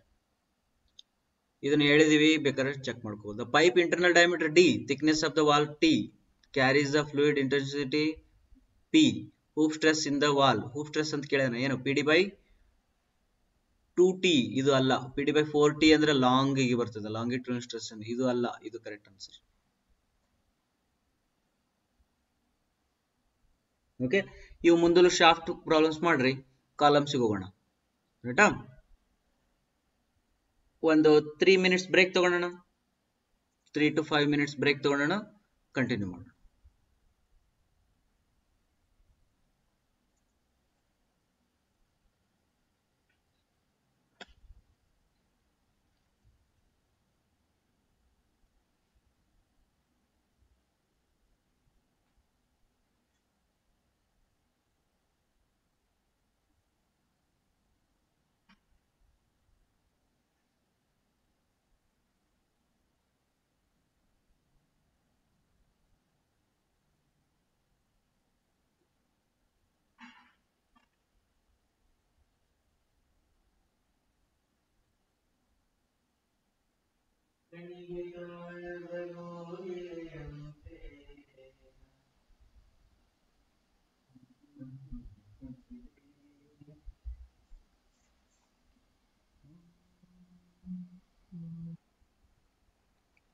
Question.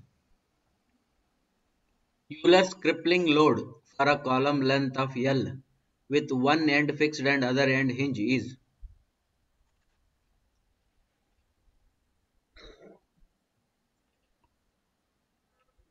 first equation ಬರ್ಕೊಡ್ರಿ Euler equation ಏನದ ಹಿಂಗ ಇರ್ತದ ಅದು but by square E I by L square ಇರ್ತದ ಎಲ್ ಎಫೆಕ್ಟಿವ್ ಇಲ್ಲೇನು ಹೇಳ್ಯಾರ ಒನ್ ಎಂಡ್ ಫಿಕ್ಸ್ ಅಂತೆ ಅದರ್ ಎಂಡ್ ಹಿಂಜ್ ಅಂತೆ ಅಂದ್ರೆ ಸೆವೆಂಟಿ ಪರ್ಸೆಂಟ್ ರೂ root two L by root two L by root two whole square ಆಕೈತಿ ಅವಾಗ ಟೂ ಕ್ಯಾನ್ಸಲ್ ಆಗಿ ಟೂ ಮ್ಯಾಲ್ ಬರ್ತೈತಿ ಟೂ ಮೇಲೆ ಬಂತಂದ್ರೆ D option doubt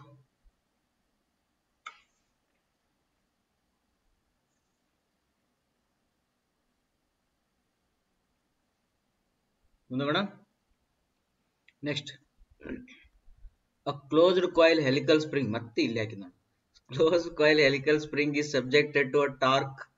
about its axis the spring will wire would experience a some general ಐತಿ ಹೇಳ್ರಿ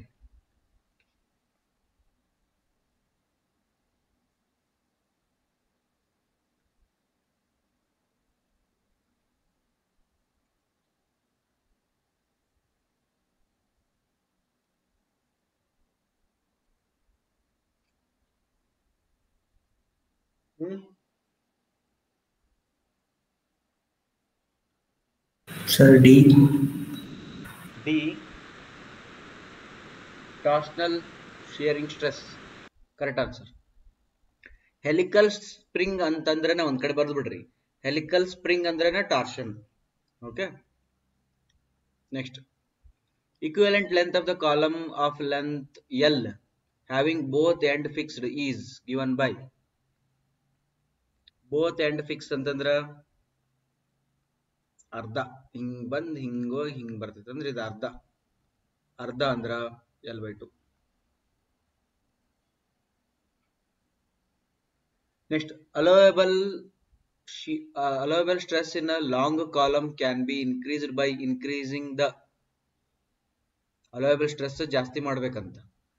allowable stress ಜಾಸ್ತಿ ಮಾಡ್ಬೇಕಾದ್ರೆ ಏನ್ ಜಾಸ್ತಿ ಮಾಡಬೇಕು ಅಂತ ಕೇಳ್ತಿದ್ದಾರೆ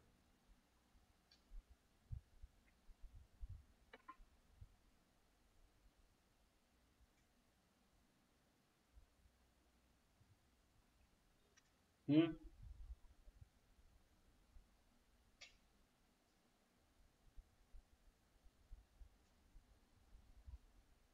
ಸರ್ ಲೆಂತ್ ಲೆಂತ್ ಹೆಚ್ಚಿಗೆ ಮಾಡಬೇಕಾ ನೋ ಲೆಂತ್ ಹೆಚ್ಚಿಗೆ ಮಾಡಿದ್ರೆ ಬಕ್ಕಲ್ ಆಗಿಬಿಡುತ್ತಲ್ಲ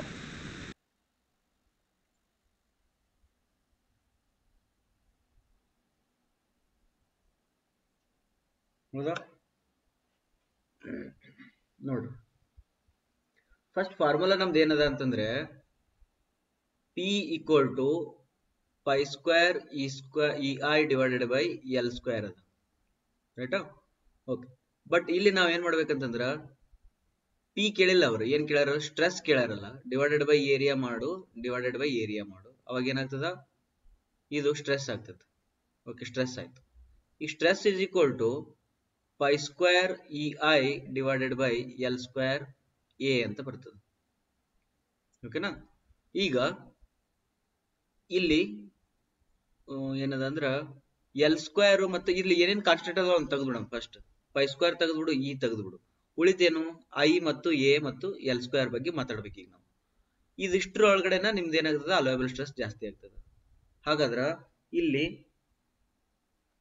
ಆರ್ ಮಿನಿಮಮ್ ಅಂದ್ರೆ ಏನು ಆರ್ ಮಿನಿಮಮ್ ಅಂತಂದ್ರ radius of gyration square root of I by A ಅಂತ ಹೇಳ್ತೀವಿ ನಾವು square root of I by A ಅಂತ ಹೇಳಿ ಹಂಗಾರೆ ಇದನ್ನ ಬರಿಬೋದ ಐ ಬೈ ಎ ಐತಲ್ಲ ಇದು ಇದಕ್ಕೆ ಹಿಂಗೆ ಸ್ಕ್ವೇರ್ ರೂಟ್ ಹಾಕೋಣ ಅದಕ್ಕೊಂದು ಸ್ಕ್ವೇರ್ ಮಾಡಿದ್ರೆ ಅದು ಸ್ಕ್ವೇರ್ ರೂಟ್ ಕ್ಯಾನ್ಸಲ್ ಆಗಿ ಕರೆಕ್ಟ್ ಕುಂದಿರ್ತದೆ ಹಂಗಾರೆ R minimum divided by L square ಅಂತ ಬರ್ತದೆ ಇದು stress is equal to R minimum divided by L L square ಅಂತ ಬರ್ತದೆ ಆರ್ ಮಿನಿಮಮ್ ಸ್ಕ್ವೇರ್ ಹಾಗಾದ್ರೆ ಇದಕ್ಕೆ ಏನನ್ಬೋದು ಇದಕ್ಕೆ ಸ್ಲೆಂಡರ್ನೆಸ್ ರೇಷಿಯೋ ಅಂತ ಕರೀತಾರೆ ಹಿಂಗಲ್ಲ ಉಲ್ಟಾ L by R is a slenderness ratio ಅಂತ ಬರ್ತದೆ therefore allowable stress in the long column can be increased by increasing the slenderness ratio ಇಲ್ಲಿ ನೀವು ಹೇಳಿದ ಆನ್ಸರ್ ಕರೆಕ್ಟ್ ಇತ್ತು ಲೆಂತ್ ಆಫ್ ದ ಕಾಲಮ್ ಅಂದಿ ಕರೆಕ್ಟ್ ರೇಡಿಯಸ್ ಆಫ್ ಗೈರೇಷನ್ ಅಂದ್ರೂ correct ಇದು eccentricity ಒಂದು ಬರಂಗಿಲ್ಲ ಬಿಟ್ಬಿಡೋದು ಬಟ್ ಇವು ಎರಡೂ ಕೂಡಿ ಇದ್ರ ಒಳಗಡೆ ಬಂದಿರ್ತದೆ there slenderness ratio is a correct answer but universal ಇರ್ತದ but slenderness ratio right answer ಅಂತ ಈಗ ಎಲ್ಲಿ ಜಾಸ್ತಿ ಮಾಡ್ಬೇಕ್ರಿ ಸರ್ ಅಂತ ಹೇಳಿದಿ ನಾ ಏನಂತಂದೆ ಉಲ್ಟಾ ಆಗ್ತದ ಅಂತ ಹೇಳಿದೆ ಹಂಗಾರೆ ಎಲ್ ಜಾಸ್ತಿ ಮಾಡಿ ಡಯಾಮೀಟರ್ ಜಾಸ್ತಿ ಮಾಡಿದ್ರೆ ಚಲೋ ಆಗ್ತಿತ್ತಲ್ಲ ಹಂಗಾದಾಗ ಸ್ಲೆಂಡರ್ನೆಸ್ ರೇಷಿಯೋ ಬಗ್ಗೆ ನಾವು ಯೋಚನೆ ಮಾಡಬೇಕಾಗುತ್ತೆ okay next buckling load for an axial loaded column with both ends fixed is given by ಎರಡು ಕಡೆ ಫಿಕ್ಸ್ ಮಾಡಿದ್ರಂತೆ ಆನ್ಸರ್ ಮಾಡ್ಬೇಕಂತೆ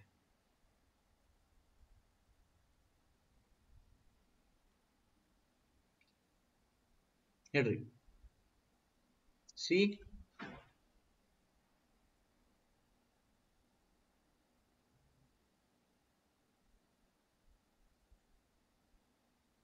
ಓಕೆನಾ next if a is the area of cross section l uh, i is the moment of inertia of a given plane then the radius of gyration r is given by the formula r equal to what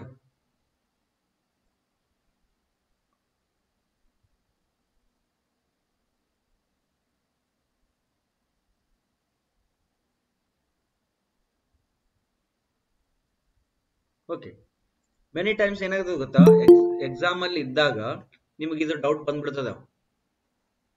exam ಅಲ್ಲಿ ಇದ್ದಾಗ doubt ಬರ್ತದ ಯಾಕಂದ್ರೆ ಈಗ ನಾವು theory of structures ಓದ್ತಾ ಇದೀವಿ ಇದೇ chapter ಅಲ್ಲಿ ಇರೋದ್ರಿಂದ ನಿಮ್ಗೆ ಏನ್ ಅನ್ಸಂಗಿಲ್ಲ ಬಟ್ ಆಮೇಲೆ hydrology irrigation geotechnical R C C ಎಲ್ಲಾ ಓದಿರ್ತೀರಿ ಎಲ್ಲಾ ಓದಿದ ಮೇಲೆ ನಿಮ್ಗೆ ಏನಾಗ್ತದ ರೇಡಿಯಸ್ ಆಫ್ ಗೈರೆ ಇದೇನದು ರೇಡಿಯಸ್ ಆಫ್ ಗೈರೇಷನ್ ಆರ್ ಅಂದ್ರೆ ಏನು ಅಂತ ಮರ್ತು ಬಿಟ್ಟಿರ್ತೀರಿ ಬಟ್ ಈ ನಾಲ್ಕು ಆಪ್ಷನ್ ನೋಡಿದ್ಮ್ಯಾಗ ಸ್ವಲ್ಪ ಒಳಗಡೆ ಬ್ಲಿಂಕ್ ಆಗಕ್ಕೆ ಶುರು ಆಗ್ತದೆ ನಿಮಗೆ ಇವೆರಡು ಆಪ್ಷನ್ ಅನ್ನ ಎಲಿಮಿನೇಟ್ ಅಂತೂ ಮಾಡ್ತೀರಿ ಐ ಬೈ ಎ ಈ ಗೊತ್ತದ ಬಟ್ ಅವಾಗ ಗೊತ್ತಿರಂಗಿಲ್ಲ ಅಂತ ಟೈಮ್ನಾಗ ಏನ್ ಮಾಡ್ಬೇಕಂದ್ರ ಇದು ಏನಿದು ರೇಡಿಯಸ್ ಆಫ್ ಗೈರೇಷನ್ ಅಂತ ರೇಡಿಯಸ್ ಅಂತ ಹೇಳ್ಬಿಟ್ರ ಹಂಗಾರೆ ರೇಡಿಯಸ್ ಯೂನಿಟ್ ಏನಿದು ಮೀಟರ್ ಹಂಗಾರೆ ಇದ್ರೊಳಗೆ ಯಾವ್ದು ಮೀಟರ್ ಕೊಡ್ತದ ಅದೇ ನಿಮ್ದು ಕರೆಕ್ಟ್ ಆನ್ಸರ್ ಇದು ಎಂ ಪವರ್ ಫೋರ್ ಅದ ಡಿವೈಡೆಡ್ ಬೈ ಏರಿಯಾ ಸ್ಕ್ವೇರ್ ಅದ ಏರಿಯಾ ಅಂದ್ರೆ ಮೀಟರ್ ಸ್ಕ್ವೇರ್ ಆಗ್ತದ ಟೋಟಲ್ ಆನ್ಸರ್ ಮೀಟರ್ ಸ್ಕ್ವೇರ್ ಬರ್ತದ ರೂಟ್ ಆಗ್ತಿದೆ ಕ್ಯಾನ್ಸಲ್ ಮಾಡ್ತಿದಿ ಮೀಟರ್ ಬರ್ತದ there four B is the correct answer ಮುಗೀತು I by A next ratio of length of column to the maximum radius of gyration of the cross sectional area of a column is known as length of the column to the minimum r minimum okay minimum radius of gyration ಅಂದ್ರೆ slenderness ratio Next, the effective slenderness ratio of cantilever column is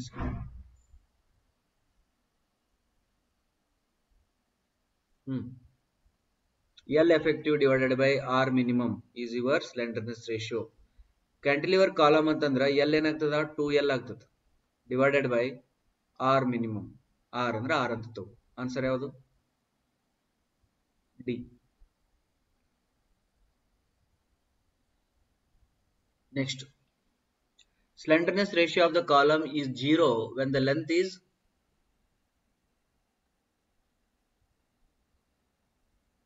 slenderness ratio of the column is 0 when the length is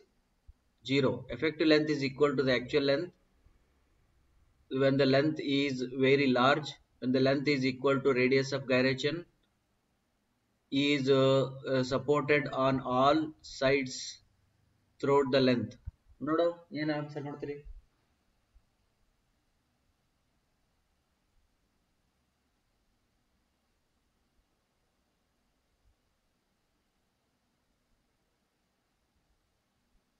ಇದು actually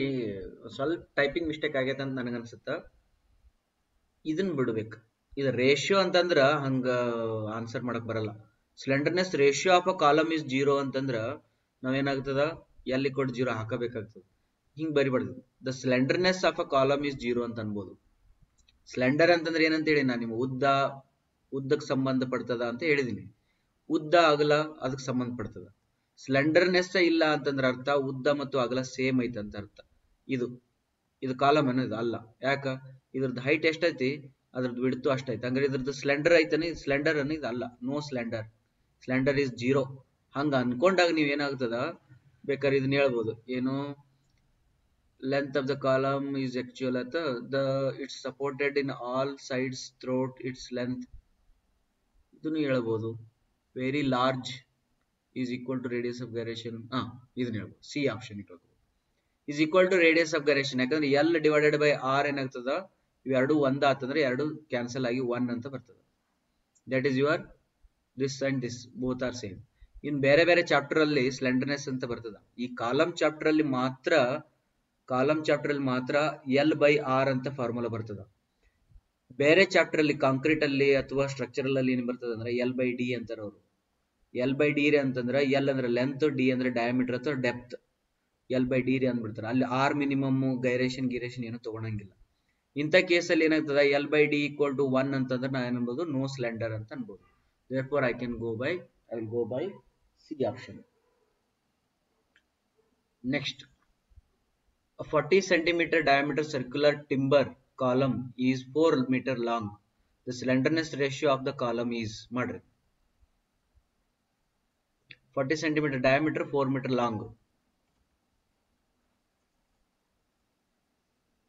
Moderate. 40 centimeter dia, 4 meter long. slenderness ratio is equal to L by R minimum. Sir, 10. 10 banta. 10 ಇಲ್ಲ answer. answer sir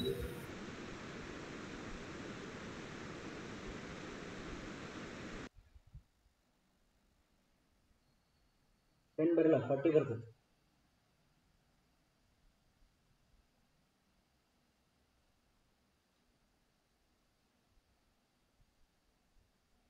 hundred forty ಬರ್ತದೆ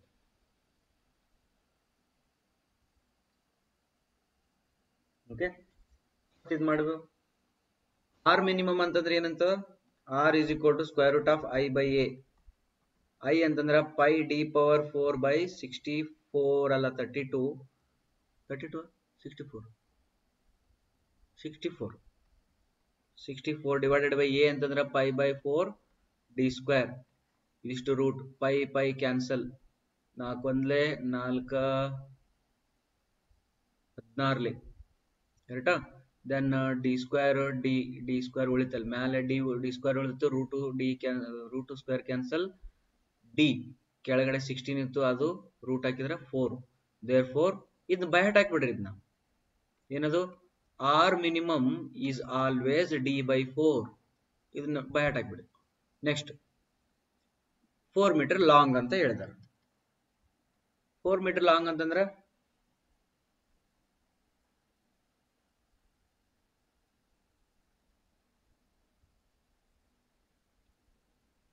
L four metre that is four hundred centimetre divided by R minimum is forty by four okay ಎಷ್ಟು ಬಂತ sir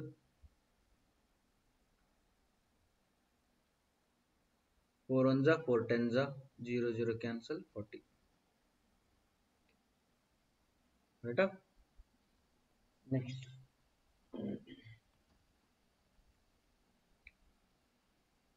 in order to determine the allowable stress in axial compression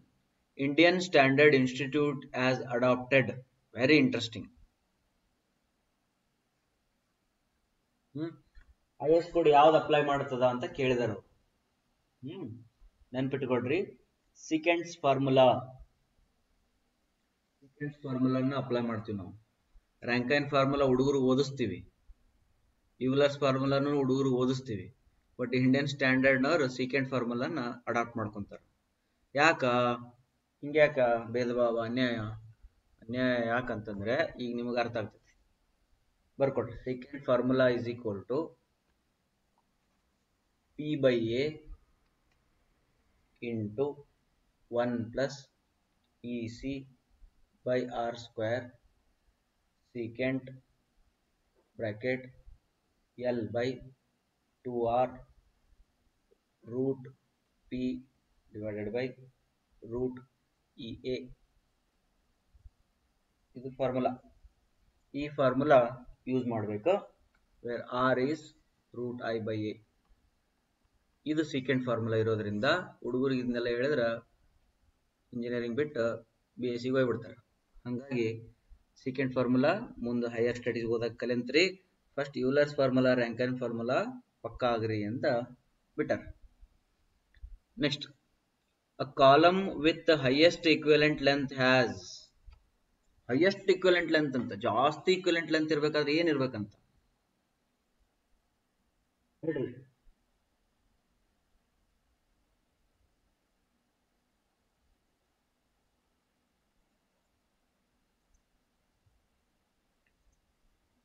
ನಿದ್ದೆ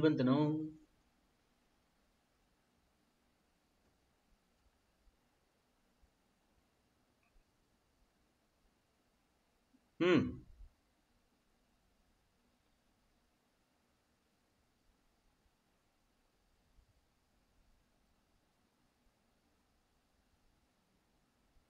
ಮುಖಂಡರ order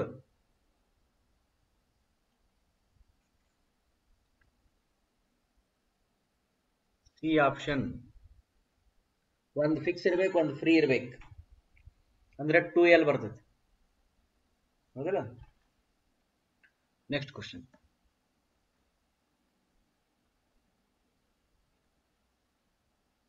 refer Rankine's correlation for buckling load of an intermediate column the value of constant and will be least for the column made of okay ಇದನ್ನ bat ಹಾಕು Rankine's constants ಅಂತೇಳಿ ಒಂದು table ಸಿಗ್ತೈತಿ ಆ table ಬರ್ಕೊಂಬಿಡಿ cast iron cast iron one by sixteen hundred wrought iron wrought iron one by nine thousand mild steel one by seven five seven thousand five hundred timber 1 by 3000 therefore which is the least the least is wrought iron therefore the answer is wrought iron next when both ends of the column are fixed the crippling load f is f if one of the end of the one of one end of the column is made free then the value of the crippling load will be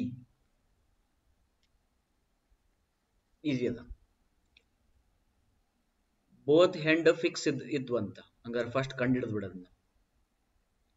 F equal to pi square E I divided by L square when both ends of the columns are fixed ಎರಡು ಕಡೆ fix ಇತ್ತಂದ್ರೆ L L by two ಆಕೈತಿ L by two whole square ಆಗಿ two ಕೆಳಗಿದ್ದು ಮೇಲೆ ಹೋಗ್ತೈತಿ two square ಮೇಲೆ ಹೋಗ್ತೈತಿ ಹಂಗಾರೆ ಇದು ಎಫ್ ಇದು ಇನ್ನೊಂದು ಚೇಂಜ್ ಆಗಿದ್ದು ಎಫ್ ಏನಾಗ್ತದ if one end of the column is made free the value of the crippling ಅಂತ ಕೇಳ್ತದೆ ಈ ಒನ್ ಎಂಡ್ ಫ್ರೀ ಮಾಡಿದ್ರೆ ಏನಾಗ್ತದೆ ಎಲ್ ಟೂ ಎಲ್ ಆಗ್ತದೆ ಟೂ ಎಲ್ ಸ್ಕ್ವೇರ್ ಅಂತ ಫೋರ್ ಆಗ್ತದೆ ಫೋರ್ ಆತಂದ್ರೆ ಏನಾಗ್ತದ pi square E I divided by four L square ಆಕೈತಿ ಓಕೆನಾ ಈಗ ಅವ ಏನಂತ ಏನು ಕೇಳೋಣ ಎರಡನೇದು ಕೇಳೋಣ ಎಫ್ ಎಫ್ ಒನ್ ಎಷ್ಟು ಅಂತ ಇದು ಎಫ್ ಒನ್ ಅಂತ ಬರೀ ಇದು ಎಫ್ ಟು ಅಂತ ಬರೀ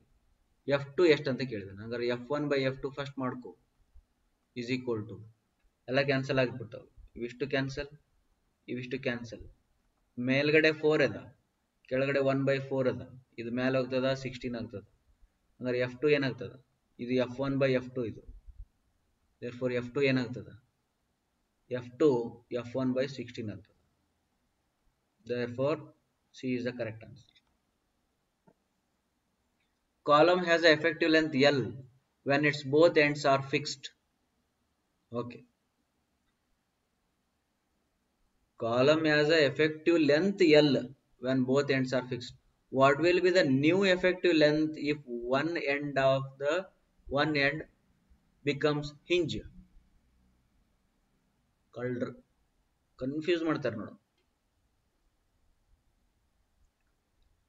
ಹಿಂಗೆ ನೆನ್ಪಿಡ್ಬೇಕೀಗ ನಾವು ಒಂದು ಕಾಲಮ್ ಅದ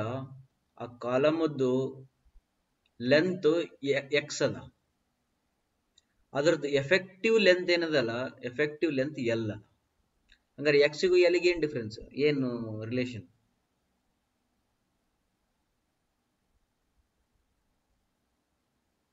Hmm? Therefore, L equal to effective length. Effective length ಅಂದ್ರನ L ಕೊಟ್ಟ ನಾವು ಬಟ್ ಹೈಟ್ ಎಷ್ಟು ಅದ ಎಕ್ಸ್ ಅದ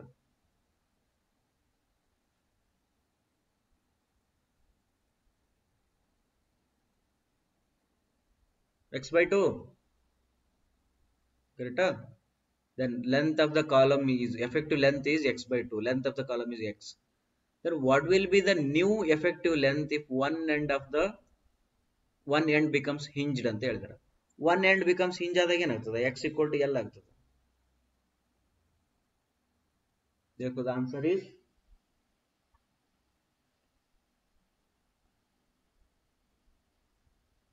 one end one end ಅಂದ್ರೆ ಇದಷ್ಟಾಗ್ತದೆ ಏ ಆಗಲ್ಲ ಒನ್ ಎಂಡ್ ಅಷ್ಟೇ ಹಿಂಜ್ ಆಗ್ತದೆ ಎರಡು ಎಂಡ್ ಹಿಂಜ್ ಆಗಂಗಿಲ್ಲ ಸೆವೆಂಟಿ ಪರ್ಸೆಂಟ್ ಓಕೆ ಇದು ಒನ್ ಬೈ ರೂಟ್ ಟು ಆಕೈತಿ ಇದು ರೂಟ್ ಟು ಮ್ಯಾಲ ಹೋಗಿ ಒನ್ ಪಾಯಿಂಟ್ ಫೋರ್ ಒನ್ ಬರ್ತದೆ ಎರಡು ಎಂಡ್ ಇಂಜ್ ಮಾಡಿದ್ರೆ ಎ ಅನ್ಬೋದಿತ್ತು ಆಪ್ಷನ್ ಓಕೆನಾ then a compression member always tend to buckle in the direction of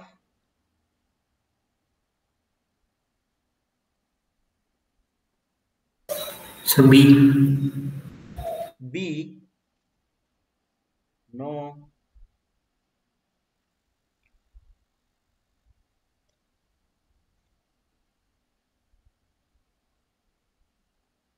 correct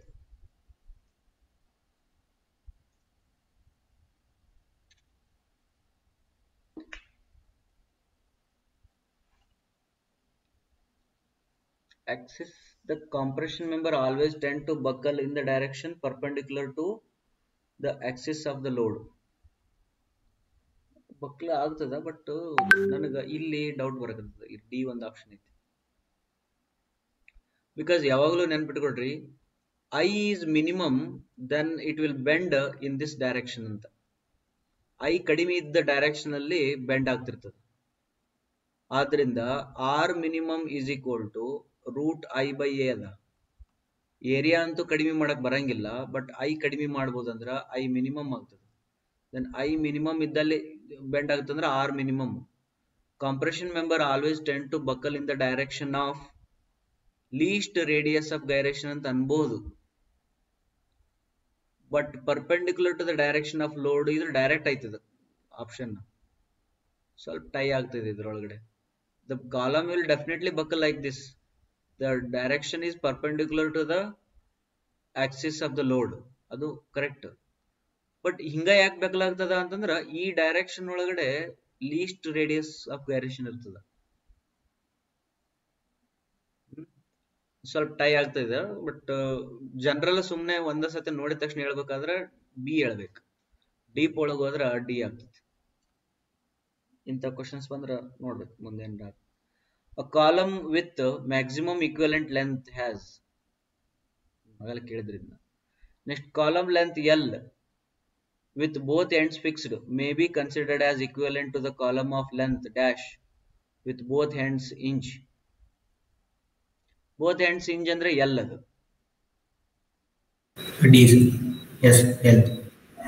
L seven B B option L by two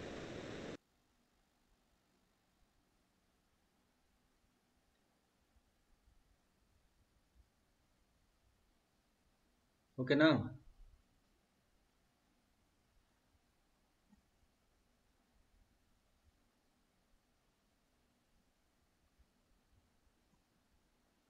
Next, according to Euler's column theory, the crippling load for a column of length L fixed at both ends is dash the crippling load for the similar column hinged at both ends. Okay, ಇದನ್ನ ಅಗಲ್ ಮಾಡಿದ್ದಿಲ್ಲ ಆ type ಹ್ಮ್ ಇದನ್ನ answer ಮಾಡ್ರಿ ಥಟ್ ಅಂತ ಹೇಳಿ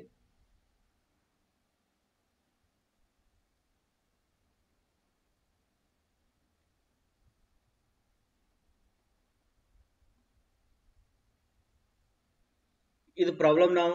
theory ಹೇಳ್ಬೇಕಾದಾಗ ಹೇಳಿದ್ದೆ ನಿಮಗೆ eccentric ಹೇಳ್ಬೇಕಾದಾಗ ನಾವು locate here middle point load ಹಾಕಿದ್ರೆ ಸ್ಟ್ರೆಸ್ ಹಿಂಗ್ ಬರ್ತದ ಸೇಮ್ ಇರ್ತದ ಪಾಯಿಂಟ್ ಲೋಡ್ ಪಕ್ಕಕ್ಕೆ ಸರಿದ್ರ ಈ ಕಡೆ ಜಾಸ್ತಿ ಆಗ್ತದ ಈ ಕಡೆ ಕಡಿಮೆ ಆಗ್ತದ ಇನ್ನೂ ಪಕ್ಕಕ್ಕೆ ಸರಿದ್ರ ಈ ಕಡೆ ಜಾಸ್ತಿ ಅದ ಈ ಕಡೆ ಜೀರೋ ಆಗ್ತದ ಇನ್ನೂ ಪಕ್ಕಕ್ಕೆ ಸರಿದ್ರ ಈ ಕಡೆ ಜಾಸ್ತಿ ಅದ ಈ ಕಡೆ ನೆಗೆಟಿವ್ ಆಗ್ತದ ನೆಗೆಟಿವ್ ಆಗಬಾರ್ದು ನೆಗೆಟಿವ್ ಆಗಬಾರ್ದಂದ್ರ ಇದು ನಮ್ದು ಕ್ರಿಟಿಕಲ್ ಕಂಡೀಷನ್ ಇದು ಕ್ರಿಟಿಕಲ್ ಕಂಡೀಷನ್ ಅಂದ್ರ ಪಾಯಿಂಟ್ ಲೋಡ್ ಎಷ್ಟು ಪಕ್ಕಕ್ಕೆ ಸರಿಬೇಕು ಅಂತ ಕೇಳ್ತಾರೆ ಎಷ್ಟು ಪಕ್ಕಕ್ಕೆ ಸರಿಬೇಕು ಅಂತಂದ್ರ ಹೆಚ್ ಬೈ ಸಿಕ್ಸ್ ಪಕ್ಕಕ್ಕೆ ಸರಿಬಹುದು ಇಲ್ಲೊಂದು ಥಿಯರಿ ಹೇಳ್ತೀನಿ ಇನ್ನು ಸ್ವಲ್ಪ ಈಗ ಒಂದು ಕಾಲಮ್ ಅದ ಅಂತ ತಿಳ್ಕೊಳ್ರಿ ಇದು ಕಾಲಮ್ ಅದ ಅದರದ್ದು ಸೆಂಟ್ರ್ ಅದ ಇದು ಕಾಲಮ್ದ ಲೆಂತ್ ಅದ ಹಿಂಗ ಕರೆಕ್ಟಾ ಈಗ ಈ ಕಾಲಮ್ ಅಲ್ಲಿ ಪಾಯಿಂಟ್ ಲೋಡ್ ಸರಿತಾ ಹೋಗ್ತದ ಇಲ್ಲಿತ್ತು ಇಲ್ಲಿ ಬಂತು ಇಲ್ಲಿ ಬಂತು ಇಲ್ಲಿ ಬಂತು ಇಲ್ಲಿ ಬಂತು ಇಲ್ಲಿ ಬಂತು ಓಕೆ ಇಲ್ಲಿ ಬಂತಂದ್ರ ಎಕ್ಸೆಂಟ್ರಿಕ್ ಇಲ್ಲಿ ಬಂತಂದ್ರೆ ಎಕ್ಸೆಂಟ್ರಿಕ್ ಜೀರೋ ಆಯ್ತು ಅಂತ ತಿಳ್ಕೊಡ್ರಿ ಈ ಪಾಯಿಂಟ್ ಇಲ್ಲಿದ್ದಾಗ ನಿಮ್ದು ಡಯಾಗ್ರಾಮ್ ಹಿಂಗ್ ಅಂತ ತಿಳ್ಕೊಡ್ರಿ ಹಂಗಾರ ಇದು ಮ್ಯಾಕ್ಸಿಮಮ್ ಆಯ್ತಾ ಓಕೆ ಈ ಕಡೆ ಬಂದ್ರ ಇದು ಮ್ಯಾಕ್ಸಿಮಮ್ ಆಯ್ತಾ ಈ ಕಡೆಗೆ ಇದು ಮ್ಯಾಕ್ಸಿಮಮ್ ಆಯ್ತಾ ಈ ಕಡೆಗೆ ಇದು ಮ್ಯಾಕ್ಸಿಮಮ್ ಇಲ್ಲಿ ಒಂದು ಏರಿಯಾ ಬರ್ತದೆ ಹಾಗಾದ್ರೆ ನಿಮ್ಮ ಪಾಯಿಂಟ್ ಲೋಡು ಇದು ಈ ಏರಿಯಾದೊಳಗಡೆ ಎಲ್ಲಾದ್ರೂ ಇರಲಿ ಟೆನ್ಷನ್ ಕ್ರಿಯೇಟ್ ಆಗಲ್ಲ ನೋ ಟೆನ್ಷನ್ ಝೋನ್ ಅಂತ ನೋ ಟೆನ್ಷನ್ ಇದ್ರ ಒಳಗಡೆನೆ ಓಡಾಡ್ತಿತ್ತು ಇದನ್ನ ಬಿಟ್ ಏನಾದ್ರು ಹೊರಗೆ ಬಂತು ಅಂತಂದ್ರೆ ಪಾಯಿಂಟ್ ಲೋಡು ಅವಾಗ ಏನಾಗ್ತದ ಟೆನ್ಷನ್ ಕ್ರಿಯೇಟ್ ಆಗಕ್ಕೆ ಶುರು ಆಗ್ತದೆ ಹಾಗಾದ್ರೆ ಈ ಝೋನ್ ಏನದಲ್ಲ ರೆಡ್ ಝೋನು ಇದಕ್ಕೆ ಕೆರ್ನ್ ಅಂತ ಕರೀತಾರೆ ಇದಕ್ಕೆ ಕೆರ್ನ್ ಆಫ್ ದ ಸೆಕ್ಷನ್ ಅಂತ ಕರೀತಾರೆ ಈ ಕೆರ್ನ್ ಆಫ್ ದ ಸೆಕ್ಷನ್ ಅಂತ ಅನ್ಬೇಕಾದ್ರೆ ಇದು ಸೈಡ್ಗೆ ಎಷ್ಟು ಹೇಳಿದ ಇದು centre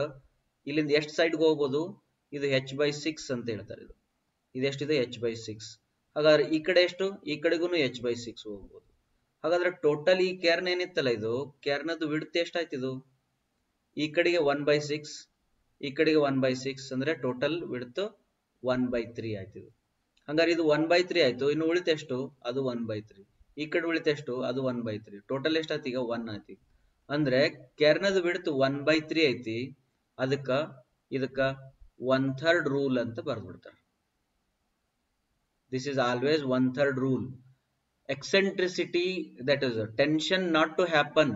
then eccentricity must follow one third rule ಅಂತ ಹೇಳ್ತಾರೆ ಒನ್ ಥರ್ಡ್ ರೂಲ್ ಅಂದ್ರ ಅದು ಅದು ಒನ್ ಥರ್ಡ್ ಒಳಗನ ಓಡಾಡ್ಬೇಕು point load that is one third rule okay this answer is ಇಲ್ಲಿ ಇಷ್ಟೆಲ್ಲ ತಿಳ್ಕೊಂಡ ಮೇಲೆ ನಿಮ್ಗೆ ಡೌಟ್ ಬರಕ್ ಶುರು ಎಚ್ ಬೈ ತ್ರೀ ಆಯ್ತೋ ಎಚ್ ಬೈ ಸಿಕ್ಸ್ ಆಯ್ತು ಅಂತೇಳಿ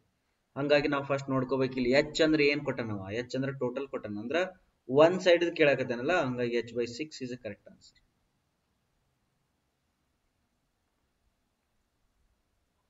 okay next slenderness ratio of a five metre column hinged at both ends and having circular cross section with diameter 16 is modern.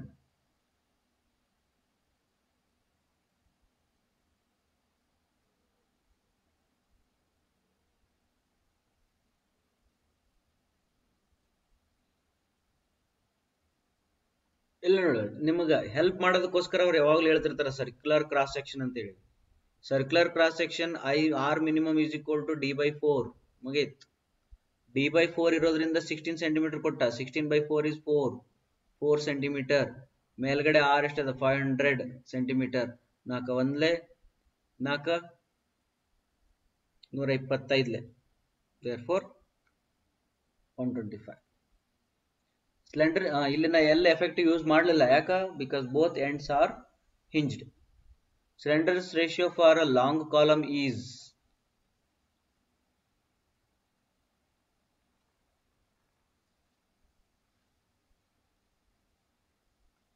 Mm.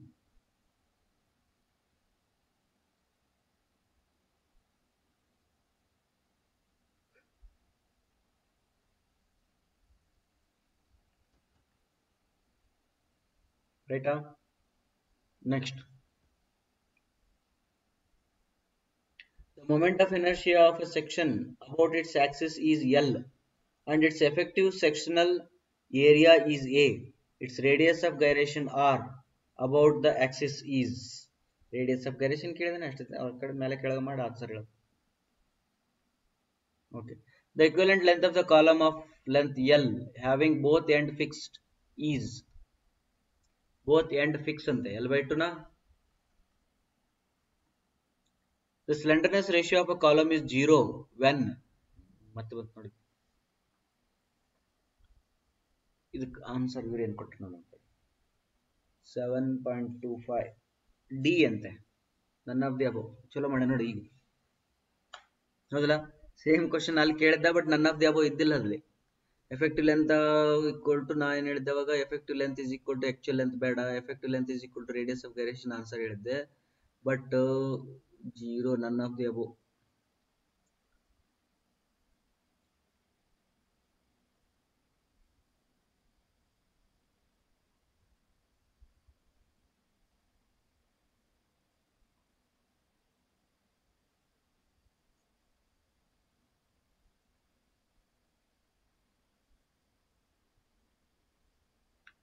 then ಅಲ್ಲಿ supported ಇದಾಗ್ತದ ಇನ್ನೂ ಒಂದು ಬರ್ತದೆ slenderness ರೇಷಿಯೋದಕ್ಕೊಂದು meaning ಬರ್ತದ ಸ್ಲೆಂಡರ್ನೆಸ್ ಅಂತಂದ್ರೆ ಬಕ್ಕಲ್ ಆಗ್ ಆಗ್ಬಾರ್ದು ಬಕ್ಲಿಂಗ್ ಆಗ್ಲಿಲ್ಲ ಅಂತಂದ್ರೆ ಅದಕ್ಕೆ ಸ್ಲೆಂಡರ್ ಅಂತಾರೆ ಇದು ನಾಲ್ಕನೇ ಆಪ್ಷನ್ ಏನ್ ಕೊಟ್ಟಿದ್ದಾನ ಅಲ್ಲಿ that is it supports in r direction may be that is the correct answer ಆಗ್ತದೆ ವೇರ್ ಇಟ್ ಈಸ್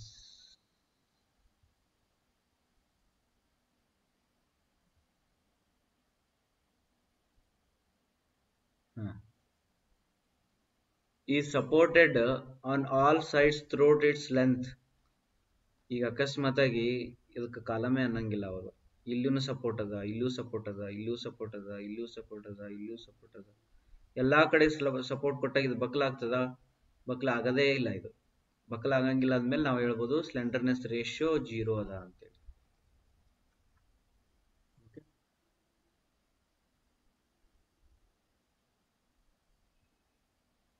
ಸ್ಲೆಂಡರ್ನೆಸ್ ಈ ರೀತಿ ಸ್ಲೆಂಡರ್ನೆಸ್ ಜೀರೋ ಆಯ್ತು ಅಂತಂದ್ರೆ ಇನ್ನೊಂದು ಕ್ವಶನ್ ಇದ್ದಾಡಿ ಎರಡು ಆಪ್ಷನ್ ಇಟ್ಟಿದ್ವಲ್ಲ ಬೈ ಅಂತೇಳಿ ಎಲ್ಲೈತದ ಇಲ್ಲೈತಿ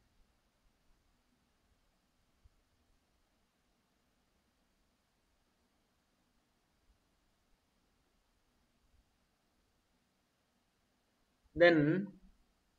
ಇಯರ್ ಇಲ್ಲಿ ಭಾಳ ಚೆನ್ನಾಗಿದೆ ನೋಡ್ರಿ if I consider D consider D answer seven point nine ಗೆ ಡಿ as an ಆನ್ಸರ್ ತಗೊಂಡ್ರೆ ಈ supported on all sides throughout its length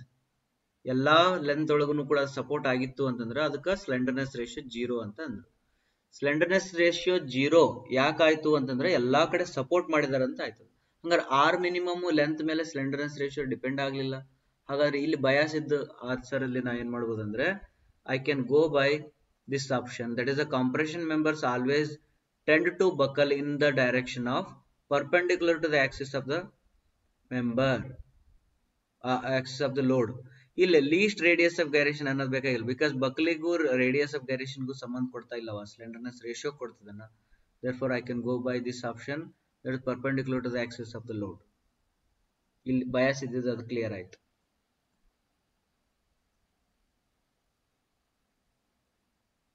Next, Dumartri. Uh, pick up the correct statement from the following. This one. The point of intersection of the bending axis with the cross section of the beam is called as shear center.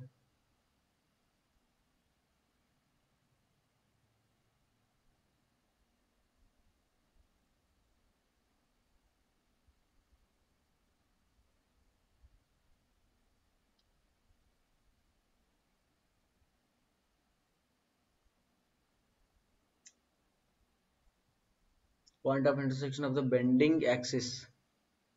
with the cross section of the beam is called shear center.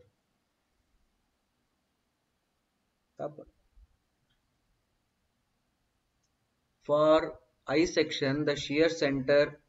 coincides with the centroid of the cross section of the beam. Mm-hmm.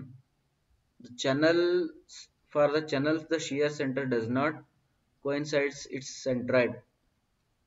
this is hundred correct channel ಸೆಕ್ಷನ್ಗೆ shear centre ಎಲ್ಲಿ ಇರ್ತದೆ ಅಂದರೆ ಇಲ್ಲೆಲ್ಲೋ ಹೊರಗೆ ಇರ್ತದೆ for channel section shear centre does not coincides its centroid centroid ಬೇರೆ ಕಡೆಗೆ shear centre ಬೇರೆ ಕಡೆಗೆ ಇರ್ತದೆ then all options are correct no I section the shear centre coincides with the centroid of the cross section of the beam I section ಎಲ್ಲಿ ಬರ್ತದ sides ಆಗ್ತದಲ್ಲ I section C shear centre sides with centre of the cross section ಇದು ನೋಡೋಣ ತೋರಿ shear centre ನಿಮ್ಗೆ ಇನ್ನೂ ಹೇಳಿಲ್ಲ option C correct ಆಗ್ತದ ಬಿಕಾಸ್ ಎ ರಾಂಗ್ ಆಗದ ಎ ರಾಂಗ್ ಆಗಿದ್ದರಿಂದ ಡಿ ರಾಂಗ್ ಆಗ್ತದ ಈ ಎರಡರೊಳಗೆ ನನಗೆ ಇದು ಕರೆಕ್ಟ್ ಅನ್ಸಕತ್ತದ ಇದ್ರ ಬಗ್ಗೆ ಸ್ವಲ್ಪ ಓದ್ಬೇಕು ಯಾರ ಓದಿರೇನಾ ಹೇಳ್ತೀರೇನ ಸರ್ ಬಿ ನ ಅನ್ಸತ್ತೆ sir B option cross section cross section of the beam ಕೇಳಾರಲ್ಲ ಹಾ shear side centre coincides the centre of the cross section correct ಆಗುತ್ತಲ್ಲ ಅದು ಯಾಕಂದ್ರೆ ಐ ಸೆಕ್ಷನ್ ತಗೊಂಡ್ರೆ ಮತ್ತೆ ಸೆಂಟರ್ ಒಳಗೆ ಕ್ರಾಸ್ ಆಗ್ತದ ಅದು that is also right okay ಇಲ್ಲಿ ಬರ್ತದ ಶಿಯರ್ ಸೆಂಟರ್ ಸಿ ಸೆಕ್ಷನ್ ಒಳಗಡೆ ಇದ್ರದ್ದು ಸಿ ಜಿ ಒಳಗಿರ್ತದ ಶಿಯರ್ ಸೆಂಟರ್ ಹೊರಗಿರ್ತದ ಶಿಯರ್ ಸೆಂಟರ್ ಮತ್ತೆ ಸೈಡ್ ಆಗಲ್ಲ ಇದು ಕರೆಕ್ಟ್ ಐತಿ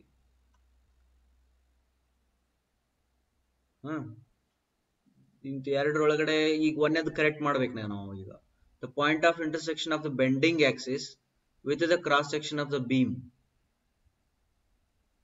is called a shear centre no bending axis ಮತ್ತು ಕ್ರಾಸ್ ಸೆಕ್ಷನ್ ಕೋಯಿನ್ಸೈಡ್ ಆಗ್ಬೇಕಂತ ಬೇಡ ಅದು ಹಂಗ ಬರಲ್ಲ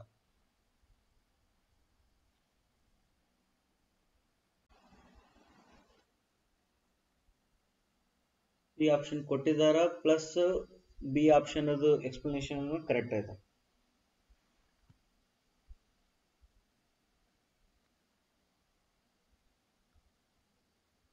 ನೋಡೋಣ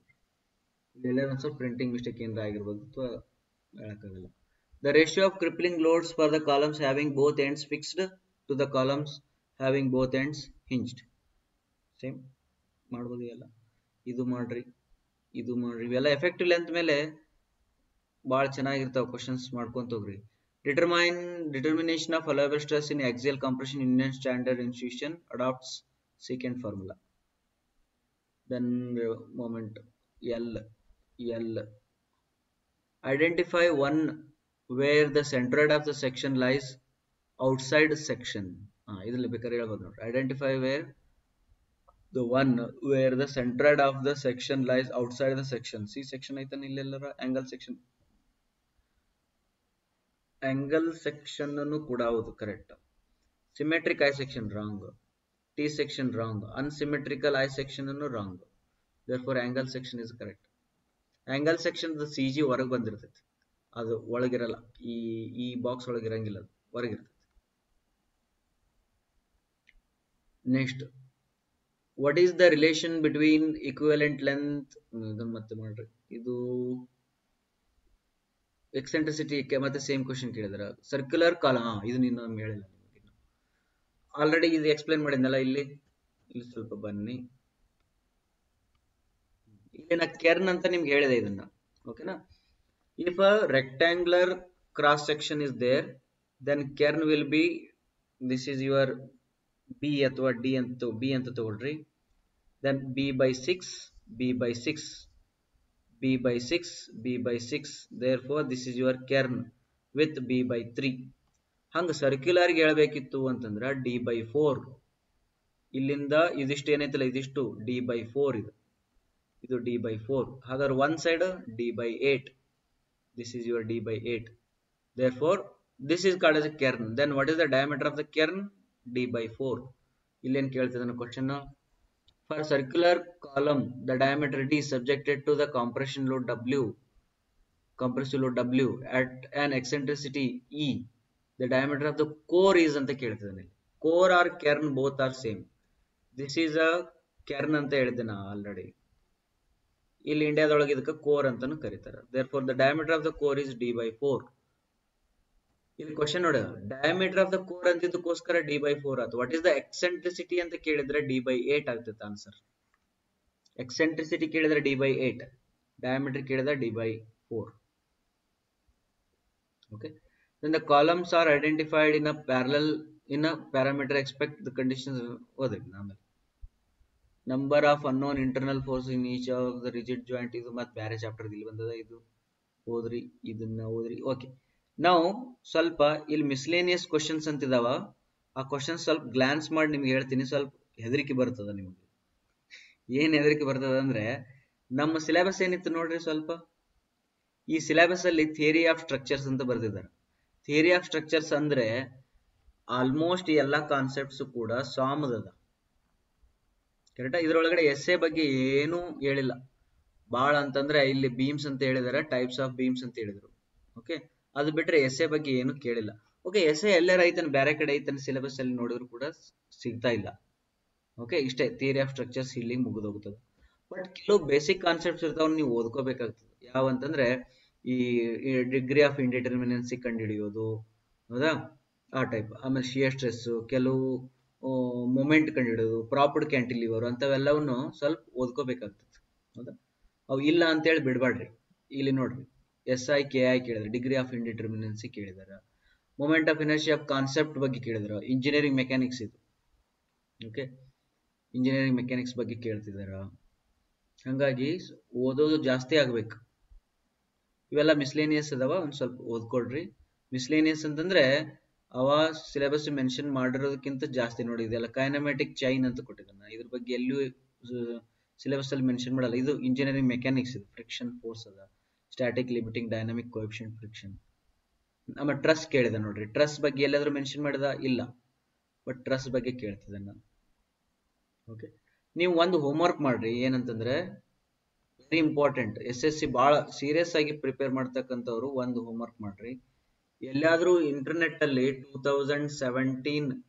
ಅಥವಾ ಟೂ ತೌಸಂಡ್ ಏಯ್ಟೀನ್ ಸಿಲೆಬಸ್ ಇರ್ತದನ್ನ ಚೆಕ್ ಮಾಡ್ರಿ ಯಾರಾದರೂ ಕೊಡ್ತಾರ ಸೀರಿಯಸ್ ಪ್ರಿಪರೇಷನ್ ಯಾರು ಇದ್ರೆ ಅವ್ರು ಕೊಡ್ತಾರೆ ಇದನ್ನ ಚೆಕ್ ಮಾಡ್ರಿ ಅಥವಾ ಟೂ ತೌಸಂಡ್ ನೈನ್ಟೀನ್ ಒಂದು ಚೆಕ್ ಮಾಡ್ರಿ plus two thousand seventeen eighteen nineteen ಇದು ಕ್ವಶನ್ ಪೇಪರ್ ತೆಗೀರಿ ಕ್ವಶನ್ ಪೇಪರ್ ತೆಗೆದು S S C question paper ಮತ್ತು ಅವ್ರದ್ದು ಸಿಲೆಬಸ್ ಒಳಗಡೆ ಔಟ್ ಆಫ್ ಸಿಲೆಬಸ್ ಬಂದದ ಅಂತ ಚೆಕ್ ಮಾಡ್ರಿ ಮೂರು ಇಯರ್ಗೆ ಆಗಿ seventeen eighteen nineteen syllabus plus question paper check ಮಾಡಿದಾಗ if they are out of syllabus then now also they will go by out of syllabus S ಕೇಳೋದಿರ್ಬೋದು ಬೆಂಡಿಂಗ್ ಮೂಮೆಂಟ್ ಇದು determinate structures ಕೇಳೋದಿರ್ಬೋದು ಎಸ್ ಐ ಕೆ ಐ ಕೇಳ್ಬೋದು thin cylinders springs ಆಮೇಲೆ compound stresses ಕೇಳ್ಬೋದು plastic analysis ಕೇಳ್ಬೋದು ಈ type ಭಾಳ questions ನೋಡಿ ಟ್ರಸ್ ಮೇಲೆ ಭಾಳ ಕ್ವಶನ್ಸ್ ಕೇಳಿದಾರೆ ದಟ್ಸ್ ವೈ ಸ್ವಲ್ಪ ವರ್ಕ್ ಮಾಡಬೇಕು ಇರೋದು ಎರಡೇ ತಿಂಗಳ ಎರಡು ತಿಂಗಳಂದ್ರೆ ಭಾಳ ಕಡಿಮೆ ಟೈಮ್ ಇರೋದ್ರಿಂದ daily sixteen hours you have to read sixteen hours ಬರೀ ಎಂಟು ತಾಸು ಒಳಗಡೆ ಆರು ತಾಸು ನಿದ್ದೆ ಮಾಡ್ರಿ ಎರಡು ತಾಸು ಒಳಗೆ ಊಟ ಉಪಚಾರ ಸ್ನಾನ ಗಿನ ಅವೆಲ್ಲ ಮುಗಿಸ್ಕೋಬೇಕು ಹದಿನಾರು ತಾಸು ಕುಂತ್ಕೊಂಡು ಓದ್ರಿ ಡೆಫಿನೆಟ್ಲಿ ಆಗ್ತದೆ ಓಕೆ ಕಾಂಪಿಟೇಟಿವ್ ಎಕ್ಸಾಮ್ ಓದೋರ್ ಗುಣಲಕ್ಷಣನೇ minimum sixteen hours ಬರ್ಕೊಂಡ್ಬಿಡ್ರಿ minimum sixteen hours ಓದಲೇಬೇಕು right thank you very much if you have anything if you want to ask anything you can ask otherwise we'll leave the meeting